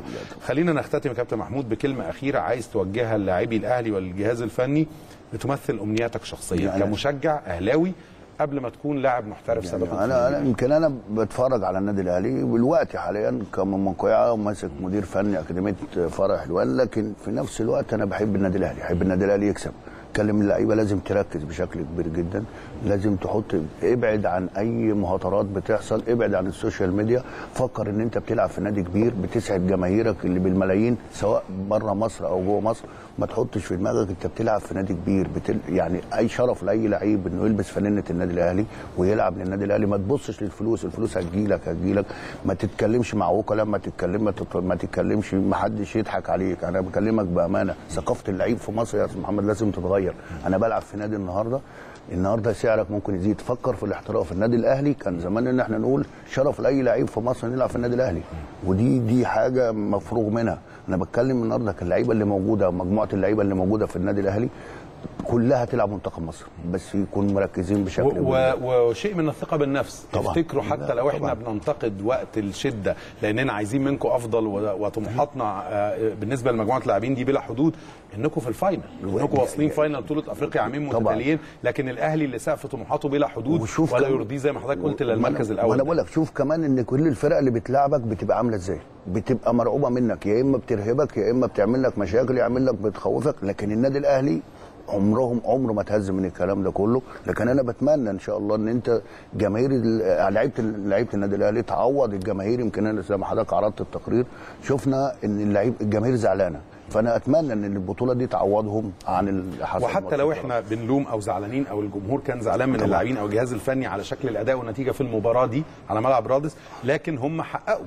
وبذلوا طبعاً، مجهود طبعاً، ووصلوا طبعاً، الفاينل البطوله طبعاً، الأفريقية طبعاً، عامين متتاليين وكل شيء وارد في عالم كرة القدم. فايضا في تقدير لجهد الفريق برضه طبعاً. جهازه الفني اللي بيصل دايما للمنافسة على اللقب حتى وإن كانت طموحاتنا لا تقل عن الفوز بالبطولة. آه فكلامك متفقين عليه تماما وبنشكرك على وجودك معنا النهارده يا كابتن محمد، محمود. أنا اللي كنت- سعدنا دايما نجم الكرة المصرية والنادي الأهلي سابقا الكابتن محمود أبو الدهب. بشكرك شكرا جزيلا. ربنا يخليك. أنا كنت سعيد إن أنا كنت مع حضرتك. أشكرك كابتن محمود. مشاهدينا ابقوا معنا. فقراتنا مستمرة آه، ولسه مستمرين مع حضراتكم خلال الأهلي ليلة فاصل ونعود.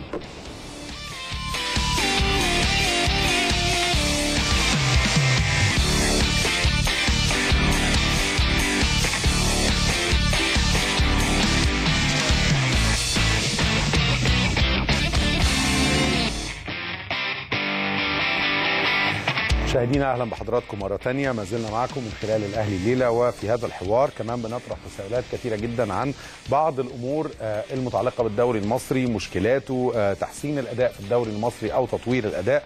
ومنظومة آه، كرة القدم اللي ممكن تخلي أداء اللاعبين أفضل وتخلي كمان انعكاس ومردود ده على أداء منتخبنا الوطني في كافة المسابقات اللي بيشارك فيها أفضل إن شاء الله.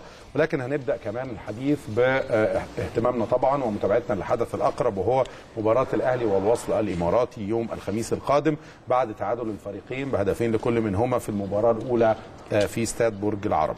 معانا آه، ومعاكم في الأهلي الليلة آه، من نجوم النادي الأهلي سابقا الكابتن ضياء عبد الصمد. أهلا بحضرتك كابتن ضياء وسعداء بوجودك معانا ربنا يخليك يا أستاذ محمد. سعيد موجود معاك النهارده و... ومبسوط إن أنا معاك من فترة كبيرة ما كنتش موجود معاك يعني. آه، بتسعدنا بمشاركتك معنا دايما ربنا يخليك الاهلي حبيبي. كابتن ضياء خلينا نبدأ بمباراة الأهلي والوصل بعد متابعتك للمباراة الأولى تقييمك لأداء المنافس والشكل المتوقع للمباراة الثانية في الإمارات.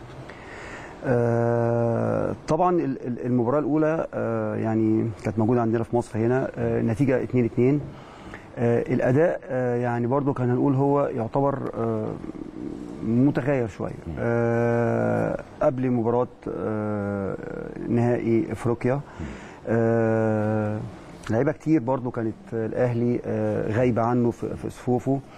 آه، يعني عايز أقول إن المباراة دي آه، كانت تبقى تجربة كويسة قوي. لو الأهلي كان ماشي كويس آه، للعيبة اللي ما بتاخدش. آه، الماتش ال- الدورات الودية اللي بالشكل دوت أو الدولية اللي بالشكل دوت آه، بتقدر تدي للعيب نفس حساسية الثلاثه بونت في الماتشات الرسمية.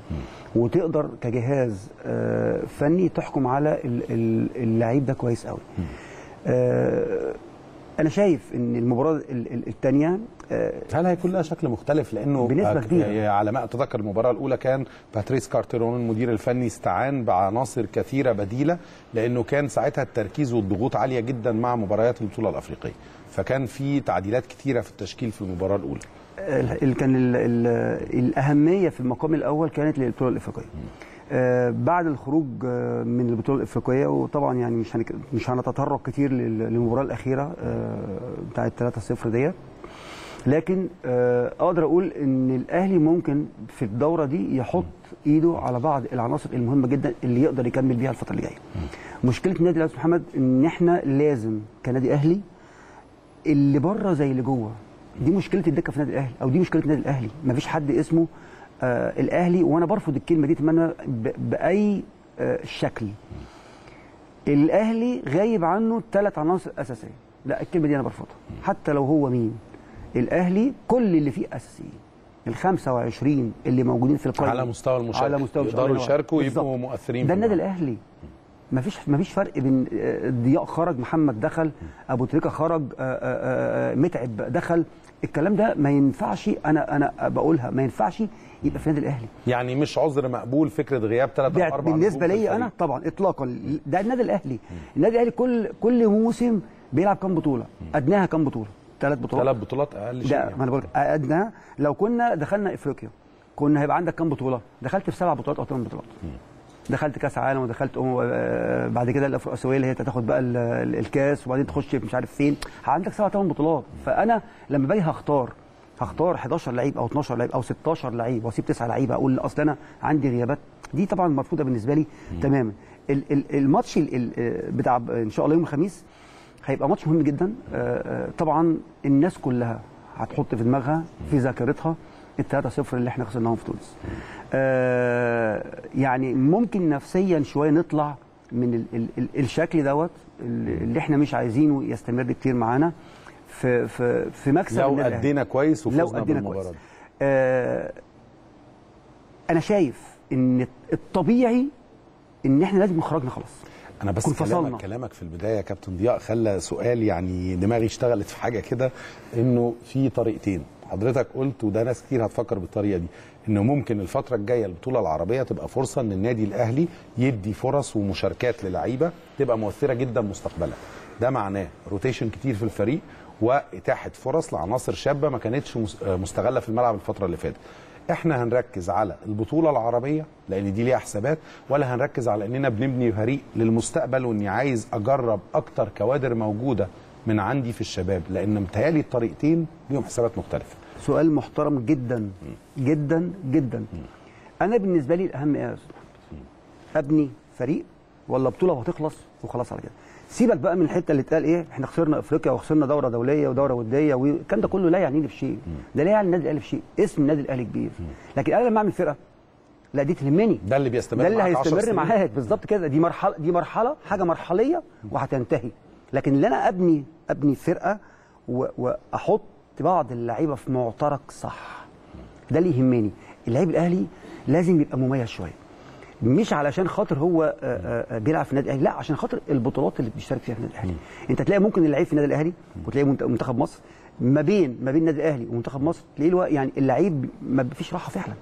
لو اللعيب ده ما تعدش كويس في اختياره إحنا كلجنه كوره أو كجهاز يقدر يختار لعيب معد كويس عشان يتحمل كل الصعاب دي على تبقى صعبه جدا. يعني لو بترتب الأولويات من وجهة نظرك كابتن ضياء بتقول إن الأهم دلوقتي بناء فريق المستقبل. طبعا. وإن الفريق ده آه، تجدد دماؤه بعناصر ما كانتش مستفاد بيها الإحلال والتجديد. يبقى مرحلي.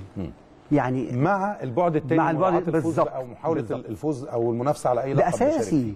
أساسي. أنا هف... أنا هقول لك حاجة يا أستاذ محمد. إحنا لما جينا لعبنا ماتش الاهلي مثلا آه، يعني من أهم الماتشات اللي كانت موجودة أو غيرت تاريخ الكوره في مصر. كان أهلي والزمالك 3 2 84 85 كاس مصر. تمام؟ الناس كلها كانت تعتقد إن النادي الأهلي يقدر يكسب الزمالك بكل نجومه ديت مستحيل. مستحيل. كانت الناس خايفة فريق الأهلي يخسر اللي هو الفريق سبعة، طبعاً، فريق الشاب ده يخسر ب score. آه. ده يخسر ده score كبير. ده قال لك لو خسرنا ثلاثة ولا بتاع يبقى أنتوا كده عملتوا إنجاز. لكن نكسب الزمالك 3 2 وإحنا اللي نبقى على طول بنبادر بتسجيل الأهداف كان في إيه؟ إيه السبب؟ السبب حاجة واحدة بس الدافع اللي عند اللعيب.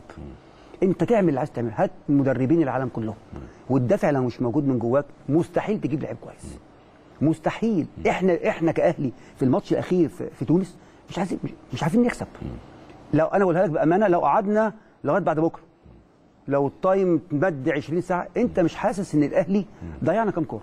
وصلنا للمرمى كام آه. فين التهديد؟ خلينا نتكلم بواقعية؟ ونتكلم بأمانة ما. هددناش مرمى ما المباراة. أنت مش أنت فين؟ أنت مش خطر. أنت ما أنت شايف يعني أنا أنا مش شايف طريقة بأمانة برضه. دي برضه حاجة من الحاجات اللي مستغربها. كارتيرون كان في وادي دجلة كان كان كان عامل جو كويس قوي لأن أنا كنت بتمرن وقتها كنت ماسك فريق نادي الداخلية. فكان بيتمرن يا قبل يا بعدي. فكنت شايف كل يعني تدريباته تقريبا قدام عينيا. شايف إن الموضوع مختلف شوية. ما أعرفش فيه إيه. آه آه يعني كنت الآن. شايف له بصمة مميزة جدا في في قبل تجربته. لسه مش شايفها لسه مش شايفها دلوقتي. طيب هسأل سؤال اللي بيتابع حضرتك دلوقتي هيفكر فيه لما يسمع الكلام ده إنه الناس هتقول إن كارتيرون استلم الفرقة وإحنا أخير مجموعتنا في دوري المجموعات. وعلى وشك مغادره البطولة. وبدأ الشارع الأهلاوي الناس ما كانتش متفائلة كانت متشائمه جدا تقول خلاص هنخرج من البطولة من دوري المجموعات. والراجل عدل ده كله وطلع أول مجموعته ووصل ال final. ده برضو دفاع موضوعي جدا. الناس بتقوله عن كارتيرون إنه استلم في ظروف صعبة وعدل من نتائج الفريق. رأيك إيه في الكلام ده؟ كارتيرون بين قوسين كوبر. شكل كوبر مع منتخب مصر إيه؟ صح كده؟ وصلنا إيه؟ كأس عالم؟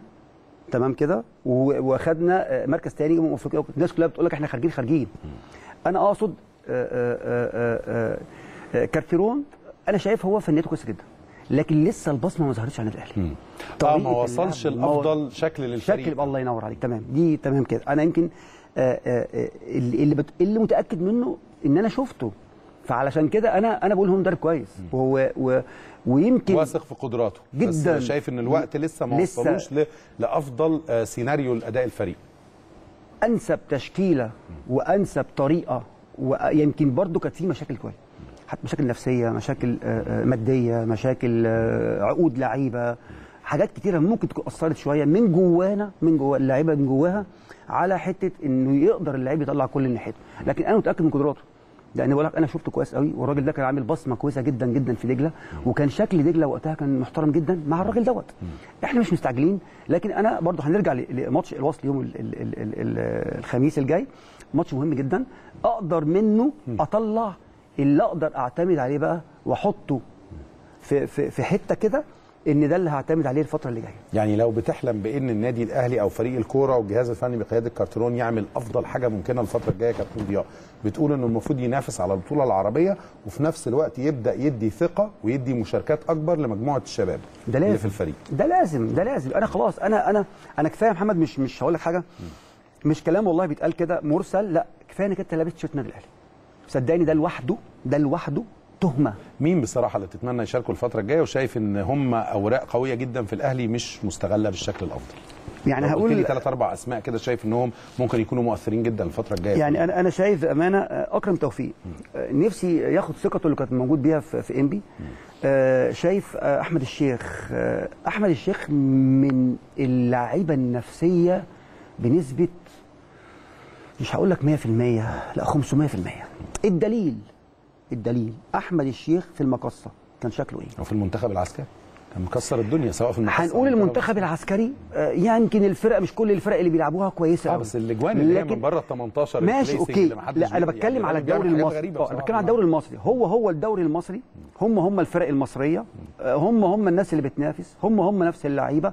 لكن شتان الفارق بين أحمد الشيخ في المقصة وأحمد الشيخ في النادي الأهلي. يعني بنتمنى نكسبه نشوف في لعيبة في لعيبة. في لعيبة لازم يتصبر عليها. أنت لو تفتكر النادي الأهلي آه، آه، مستر مانويل صبر على مين؟ آه، تسعة أشهر. فلافي وبعدين؟ واحد. وبعدين؟ خد بقى دي كمان. كابتن فاروق جعفر مع أيمن منصور. الكلام ده كان سنة آه، 87 88 تقريبا. في نفس في الثمانينات صبر على كابتن أيمن منصور أكتر من تسع مباريات في نادي الزمالك. أكتر من 8 9 من مباريات غير ولا هدف.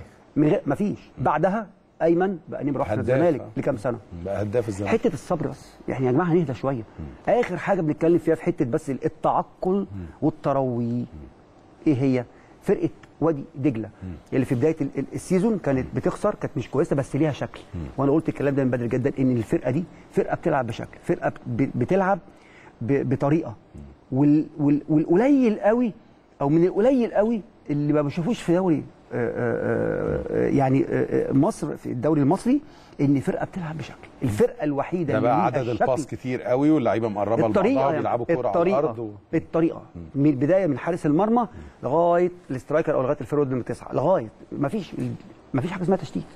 أنا ببدأ من تحت. طريقة وتحفظ يكسب يخسر يتعادل يتهز شوية طريقتي ثابتة.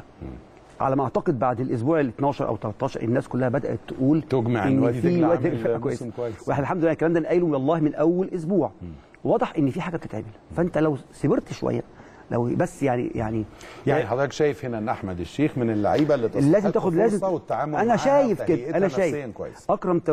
مين تاني؟ توفيق أكرم أكرم توفيق أنا. شايفه آه، مهم جدا؟ جدا جدا الفترة دي مين غير يمكن؟ يمكن هقول آه، آه، يعني يعني مش عايز أقول ممكن آه، كريم ندفد أو هشام محمد. لازم يبقى الاعتماد عليهم بصورة آه، كبيرة قوي. وممكن هشام محمد أكتر كمان. هشام محمد عنده خبرة كبيرة جدا جدا جدا جدا. يمكن ثقلها برضو آه، لما راح المقصة. آه، تحس إنه لعيب فاهم.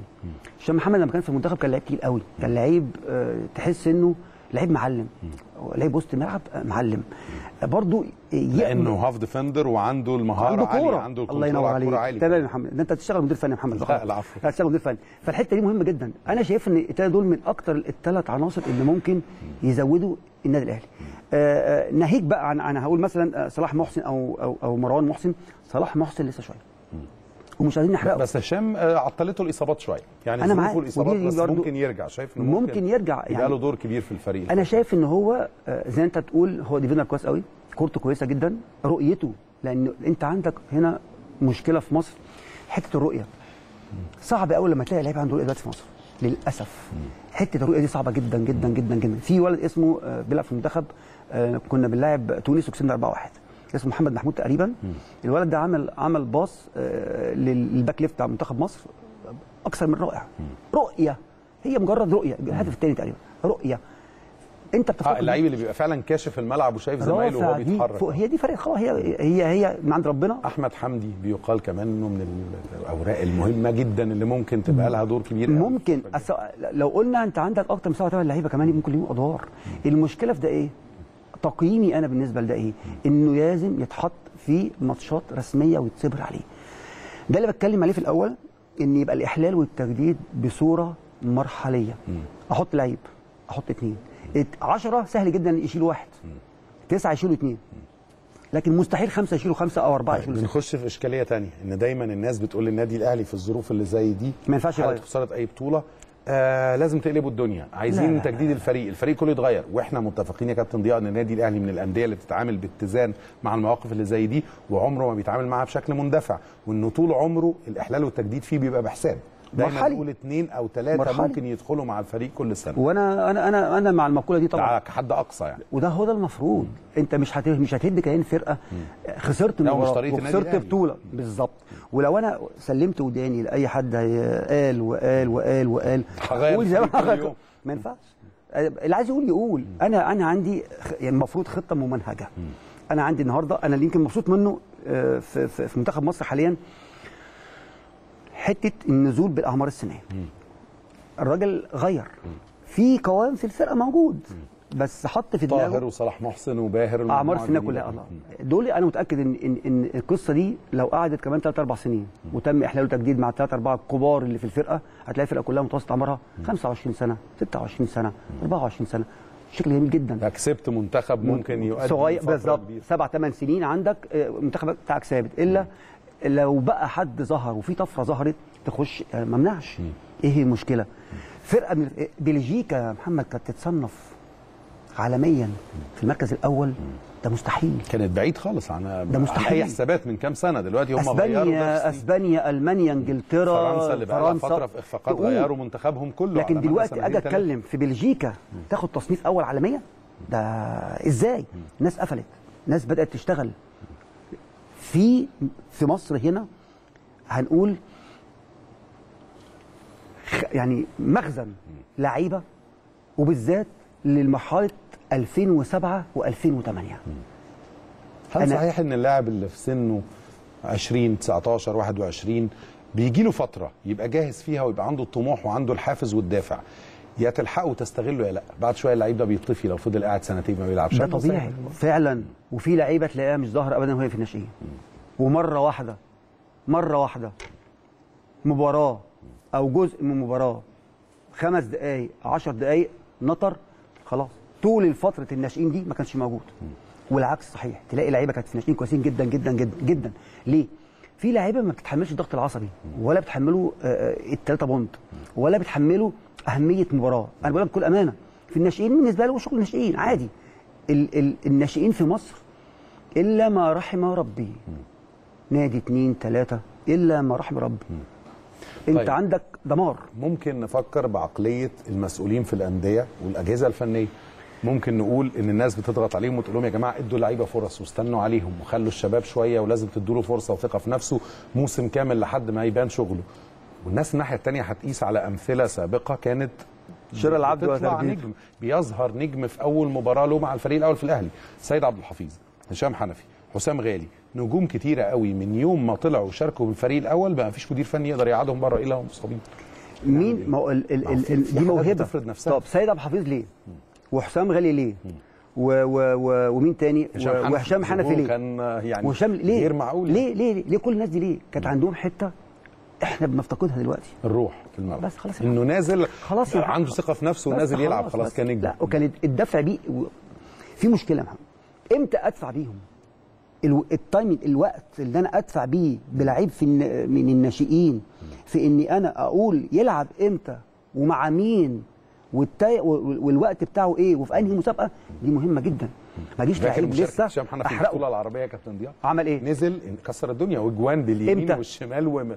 إمتى؟ يعني الناس قالت إيه ده؟ كان مؤشر فيه مؤشر كويس قوي لأن كان هشام محمد مين كان تاني موجود معاه؟ هتلاقي هو هشام محمد الوحيد اللي كان لسه طالع في وسط التسعة أو العشرة الموجودين. هشام حنفي.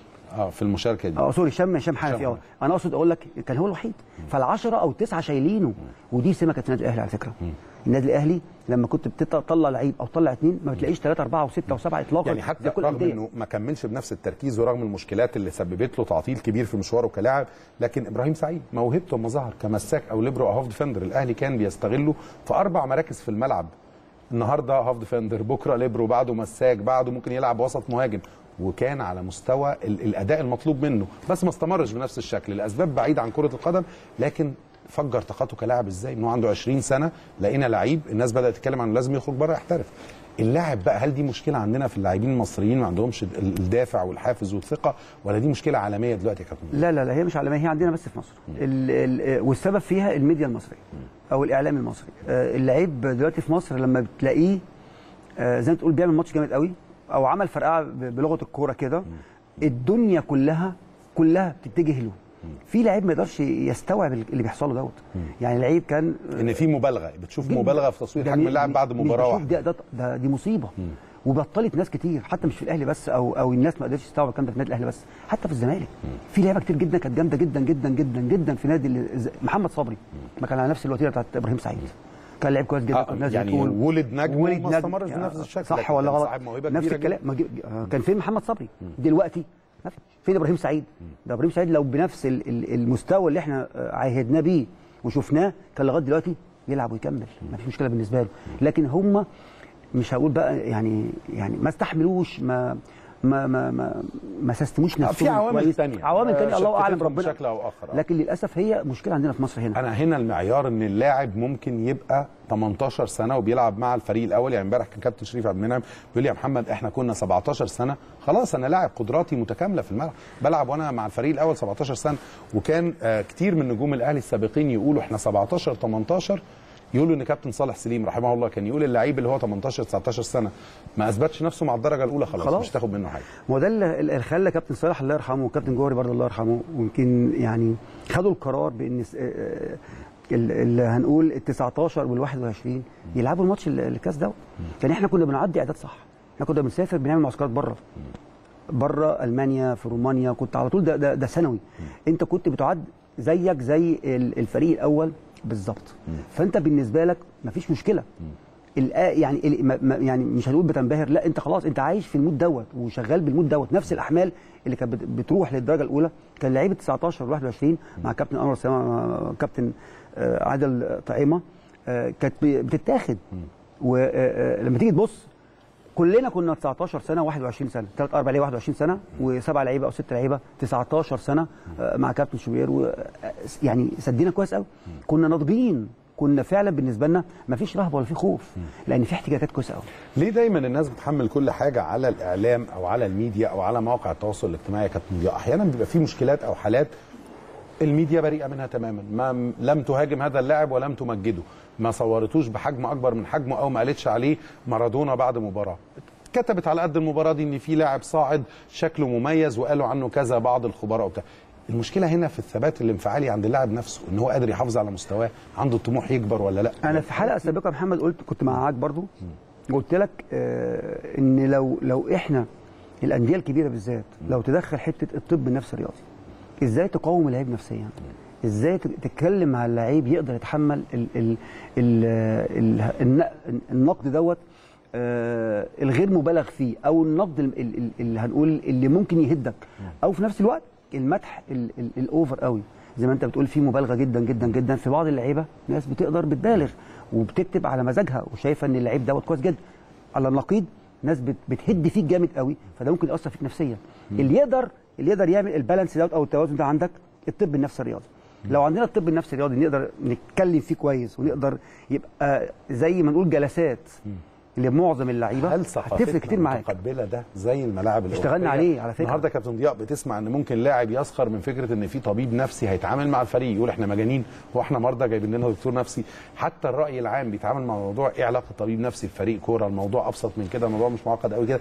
إحنا كمجتمع لسه عندنا آه تعقيدات شوية ولخبطة شوية في النظر للحكاية. لو مرحل يعني عملناها آه، بطريقة آه، هنقول آه، برضو منظمة شوية. يعني بدأنا في- قطاع الناشئين هنقول مثلا سي من فرقة ال 15 سنة. بدأت تتعمل كل شهر مثلا جلسة مش جلسة علاج لا جلسة إزاي تقدر تتحمل هزيمة إزاي تقدر تتحمل إنك أنت في ماتش معين كسبت أو حد اتكلم عليك إزاي تقدر تسيطر على شعورك. الثبات الانفعالي اللي بنتكلم عليه دوت آه، مهم جدا جدا جدا جدا بالنسبة للاعيب الكورة في الوقت دوت. من عمره لما يبدأ يطلع 17 سنة و19 سنة يجي يتعامل في الدرجة الأولى على ما أعتقد الموضوع ده بالنسبة له يبقى easy قوي عادي جدا جدا جدا. الموهبة دي موجودة عند المدرب نفسه أو واحد من أعضاء الجهاز الفني وما بيبقاش الفريق محتاج طبيب نفسي لأنه في تجارب ناجحة جدا عالميا يا كابتن ضياء. من عملية التحفيز أو ال motivation دي إن أدي اللاعب ثقة في نفسه إمتى؟ أخليه آه، يقل شوية سقف التعالي عنده أو الغرور لو النتائج ماشية كويس عشان ما خسروش نتيجة الغرور المبالغ فيه أو الاستهتار بالخصم. أحيانا دي بتبقى talent عند الأجهزة الفنية نفسها. موجودة وهقول لك حاجة بنسبة آه، هنقول 95% من الدوري المصري موجود الحتة دي. يا تلاقي المدرب العام يا تلاقي مدرب حراس مرمى يا تلاقي مدرب مساعد يا تلاقي اما المدير الفني هو اللي بيقوم الحته ديت. بس أنا بتكلم في إيه؟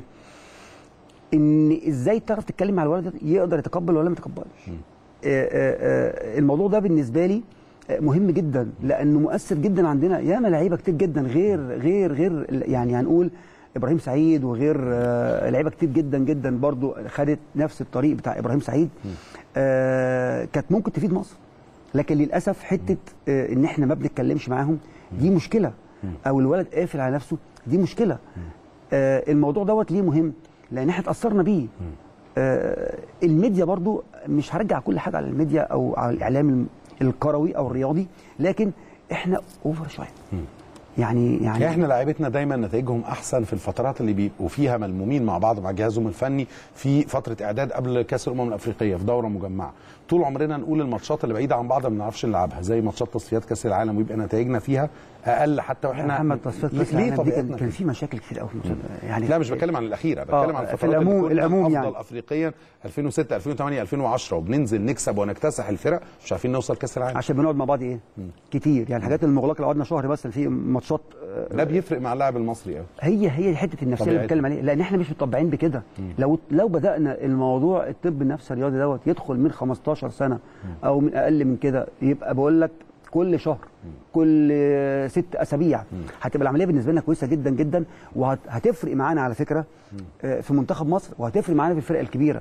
ال- مش مش كل الأندية هيقدر يجيب طبيب نفسي رياضي أو يتكلم في الطب النفسي الرياضي لكن أنا بتكلم عن الأندية اللي ممكن آه، بتستثمر الناشئين في إنها تطلع واحد أو اثنين أو ثلاث لعيبة ودول ممكن تفرق معاهم كتير جدا في الدرجة الأولى فوق. يوفر ملايين الملايين. أنت عندك لعيبة بتمشي من عندك يا محمد بتمشي من عندك وتروح أندية ثانية وتبقى كويسة جدا. وبتثبت نفسها وبتحرجك في الدوري وبترجع تجيبها بعد انت طيب في ناس بتقول دايما في لعيب يعرف يلعب ويبقى نجم في فريق تاني مش في فريق قمة. في ناس بتقول لا هو في فريق قمة بيبقى فيه زحمة نجوم كتير قوي فاللاعب ده مش واخد فرصته الكلام ده ما انطبقش على أحمد. الشيخ على فكرة؟ لا لا أنا بتكلم على ناس كتير يعني بيقولوا على لعيبة كتيرة ما جت الأهلي ما قدرتش تاخد فرصتها أو ظهرت في أندية تانية بمستوى أفضل وما وفقتش في الأهلي هل المشكلة إنه مش على قدر آه ال- الثبات الانفعالي اللي يسمح له بتحمل الضغوط الجماهيرية وحجم الاهتمام الإعلامي وحجم نجاحات الأهلي ولا إنه كان في زحمة نجوم كتير قوي ففرص قليلة وبيشارك طول الوقت 90 دقيقة في فريق تاني. ثبات انفعالي وحط جنبها كده اتزان نفسي وثقة. انت قلت حل برضو آه، جملة جميلة جدا. النادي الأهلي نجاحاته كتير جدا. النادي الأهلي عليه سبوت جامد قوي. النادي الأهلي الدنيا كلها بتتابعه. النادي الأهلي ما فيش حاجة بتعدي. النادي الأهلي مليان نجوم. النادي الأهلي أي حد يتمنى. عايز لعيب داخل كل 90 دقيقة بطولة جديدة بالنسبة كده. له بيكسبها روح دم. انت الكلام ده انت بتكتسبه أكتر أكتر أكتر أكتر وقت هتلاقي فيه الكلام دوت اللعيبة اللي كانت يعني هنقول شربت شربت من من من قطاع الناشئين في النادي الأهلي. هتلاقي حتة النحرارة وحتة الغيرة وحتة الغل وحتة ال... إن أنا ما ينفعش أخسر ولازم أكسب. دي اللي بيجي على النادي الأهلي لازم يكتسبها. النوعية اللي بتيجي بقى ما بتنجحش مع النادي الأهلي عارف م- ما بتشبعش بسرعة. عايز وقت طويل جدا ومش هنستحمل. عندك لعيب أو اثنين أو ثلاثة ممكن مش هيلفظوا من فريق النادي الأهلي أو مش هيقدروا يكملوا لكن هتلاقي إن ما قدرش يستوعبوا. ما- ودي حتة الالتزام النفسي اللي عنده. ما اتزان ما فيش اتزان عنده. طيب اللعيبة اللي ما. بتاخدش ماتشات كفاية كابتن ضياء وبيقولوا إن ده سبب إنه لما الجهاز بيحاول يعتمد عليها أو بيحتاج لها بيلاقيها مش موجودة في الملعب تقريبا. أنا يعني بعتبرها تقصير تقصير من الجهاز الجهاز. ولا اللاعب؟ ما إحنا لا. عندنا محمد نجيب بيغيب فترات ووقت ما بنحتاجه في مباراة الحقيقة هو محير جدا في الموضوع ده آه. بينزل الملعب كأنه بيلعب كل الماتشات. يعني نجيب الناس بتقول بيرجع في نفس الفورمة بتاعته المعروفة عنه. لو- ما بنلاقيهوش بعيد ولا تركيزه قليل ولا حاجة رغم بيرجع بيبقى بعيد كبديل فترات كبيرة. لو لعيب عنده من الخبرات يعني محمد نجيب لو عنده من الخبرات كتير قوي اللي هو ممكن يلاقي نفسه بعد آه، آه، فترة علاج أو فترة آه، إصابة أو فترة بعد عن الملاعب يقدر يجيب نفسه. مش كل لعيبه زي بعضها. بمعنى في لعيبة آه، تلاقيها بتسهر. وده طبيعي عندها على فكرة. مش سهر يعني سهر هو ما بينامش قبل الساعة 3 4 الصبح. حتى قاعد في بيته. آه ما خرجش حاجة، هو ما. ما خدته كده. 4 الصبح و5 الصبح و6 الصبح. وعنده من الساعة 9 يقدر يتكيف. غيره غيره. يقدر لو عمل كده ما تلاقيهوش في الملعب خالص. نفس القصة. في لعيب يقدر يرجع بسرعة لعيب ما يقدرش يرجع بسرعة. أنا بتكلم على حتة الجهاز ليه أنا ليه بعيب على الجهاز طب ما أنت عندك قطاع ناشئين. عندك فرقه 97 أنا كدرجة أولى. عندي 97 عندهم مباريات وعندهم ماتشات. وماتشات إيه؟ جمهورية. وماتشات تقيلة مع فرق كويسة. ليه ما تجيبوش وثلاثه بونت؟ ليه ما, ما- أجيبوش أنا اللعيب دوت أرجعه في الماتشات دي؟ كابتن جمال عبد الحميد وكابتن حسام البدري زمان كانوا بينزلوا يلعبوا معانا في ماتشات وديه لما يحب اللعيب بيحب يجهز. آه، آه، لعيبة كتير على كده. كابتن إكرامي كان بينزل أوقات في بعض الأوقات لما كان بيبقى مصاب وعايز يرجع كان ممكن بيبقى موجود. الكلام ده مش مش كبر. ولا اللعيب يقول أنا هنزل العب مع 97 الكلام ده ما ينفعش خالص. أنا بعتبر ان اللعيب اللي عايز يجهز عايز يجهز بقى يرجع مع 97 يبدأ مع إن شاء الله 99 لو في ماتشات ودية ما في مشكلة بالنسبة له. الجهاز الفني لازم يجبره. الثلاثه بونت يا محمد بتختلف كتير جدا جدا حتى لو بتلعب ناشئين. عن إنك تلعب ماتشات ودية في أي وقت. طيب اللقاء السابق سألنا فيه كابتن محمود أبو الدهب إيه سبب ندرة المواهب حسب رأي ناس كتير قوي بتتابع الدوري المصري وإن الدوري المصري بقى اللاعب المميز فيه قليل قوي. قال لنا إنه شايف إن في لعيبة كتير جدا موجودة في كرة القدم محترفين بس مصنوعة ما عندهاش موهبة. مجرد إنه لاعب تم التعاقد معاه ومن هو صغير بيجتهد وبيتمرن وشغال آه، بدنيا كويس جدا وبيسمع تعليمات الجهاز الفني بس هو ما عندوش أي تالنت رأيك إيه في القصة دي يا كابتن؟ رايي إن العين اللي بتختار اللعيب مش كويسه بمعنى في لعيب معمول وفي لعيب أعرف أعمله وفي لعيب محتاج حاجة قليلة بلس الموهبة اللي عنده ويبقى حاجة تخليه نجم. كبير قوي هي العين بس كده. أنا بنسبة مل- مل- مليون في المية ال- يعني بص يا محمد أقول لك حاجة ما تقنعنيش إن مصر كلها بفرقها الممتاز به والممتاز ألف وحواريها ونواجعها وكوراها ومودانها ما فيهاش ثلاث أربع فراوده تقال قوي في مصر. مستحيل. ما مش مش لا اطلاقا. لكن لو أنا عندي بقى الحتة دي اللي بقول لك عليها دلوقتي محمد أنا أنا, كنت نفسي أقدم اقتراح لاتحاد الكورة. مواليد 7 2007 و2008 الناس دي أنا أتحداك لو اتقفل عليهم وبقول الكلام ده في كل مكان اتقفل عليهم 10 11 سنة اعمل برنامج طويل المدى. اعمل برنامج طويل المدى. أكاديميات فرق ناشئين. خلي الناس تلف. كابتن ربيع ياسين بيعمل إيه؟ ده بيلف من أول أسوان لغاية الفيوم لغاية اسكندرية. بيدور على المواهب. بيدور على مواهب. وهيتعب وهيلاقي. عمل قاعدة عريضة.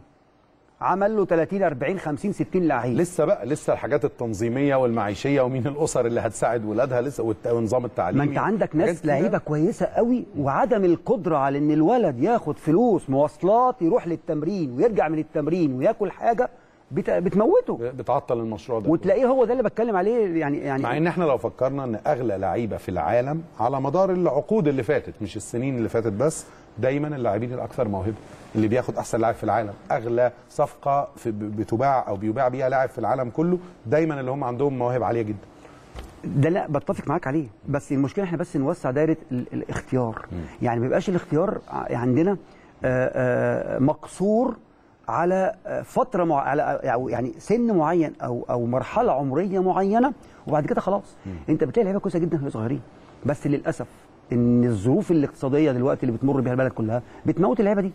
لكن أنت لما تلاقي فيه موهبة موهبة كويسة قوي وتتبناها كاتحاد كورة 40 خم... 40 لعيب 30 لعيب تتبناهم.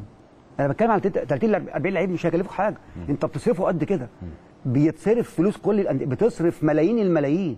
لو اتعملت خطة ممر... يعني ممنهجة خطة مرحلية لمدة 11 سنة الولد اللي عنده آه، آه، سبع سنين 10 سنين دلوقتي بعد 10 سنين هيبقى عنده كام سنة؟ 11 سنة. 21 سنة. إحنا لسه كنا بنتكلم دلوقتي بنقول هيبقى متوسط أعمار الفرقه يعني لو عندنا. لو نجحنا في تطبيق مشروع الألف محترف أو الألف موهبة اللي بيحصل دلوقتي. ده واشتغلنا صح عليه؟ شايف إنه هيبقى. حاجة مؤثرة جدا. بشرط. وهقولها المره بشرط عدم المصلحة. يبقى المصلحة الوحيدة الوحيدة هي مصر. مش أنا عشان آه، مش انتفاع أجامل محمد. أقول آخد ابنك ولا قريبك خلاص يبقى الموضوع انتهى. يتكلم الموضوع انتهى. لأن للأسف هي دي ماشية كده. لكن أنا أنا بتكلم على ليه المرحلة العمرية يا محمد؟ إن السن ده فيه لعيبة محترمة فيه لعيبة كويسة ولاعيبه موهوبة. واللي ده اللي, إحنا مفتقدينه دلوقتي. أنا بقول لك مفيش لعيب عنده رؤية. اللعيب بياخد ويبص ويعدي يعني في حاجات كتير في قوي جدا نشتغل عليها طبعا وفي طبعا اتجاهات كتير طبعا قوي طبعا طبعا الجاية. طبعا فأنا بقول الحاجات دي لو لو, لو اهتمينا بيها شوية هتفرق معانا هي- جدا. هيحصل فرق في. اللعيب في مصر هنا اقفل اقفل على نفسك 10 سنين مع مجموعة معينة وبعد 10 سنين الناس بقى تيجي تقول لك انت فعلا طلعت. لكن الطبيعي بتاعك الطبيعي انك عندك مواهب فزه هنا فزه على جميع الأعمار السنيه يا رب نشتغل صح في الملف ده ويكون زي ما قال ضيفنا الكابتن ضياء عبد الصمد إنه الصالح العام هو المعيار الأول والأولوية القصوى لهذا المشروع مشروع الألف موهبة أو الألف محترف وكل المشروعات اللي بتهدف إلى إننا نرتقي بمستوى الكره في مصر على المستوى الفني والاستثماري والتسويقي مستقبلا إن شاء الله ومردودها على الأندية المصرية ومستوى المنافسة هنا كمان محليا وعلى مستوى مشاركاتنا الدولية والمنتخبات الوطنية. أسعدتنا بوجودك معانا وبشكرك جدا ربنا وجودك معانا. النهارده في الأهلي الليلة. آه، نجم النادي الأهلي سابقا الكابتن ضياء عبد الصمد. شكرا جزيلا لك. ميرسي يا محمد ربنا يخليك حبيبي. شكرا جزيلا. آه، بشكر حضراتكم على المتابعة. وصلنا مع حضراتكم لنهاية هذا الحوار وختام هذه الحلقة من حلقات الأهلي الليلة. بشكر حضراتكم على المتابعة. ابقوا معنا بعد نهاية هذا اللقاء. آه، هتلتقوا مع برنامج ملك وكتابة مع الكابتن عبد القيعي والكابتن إبراهيم المنيسي.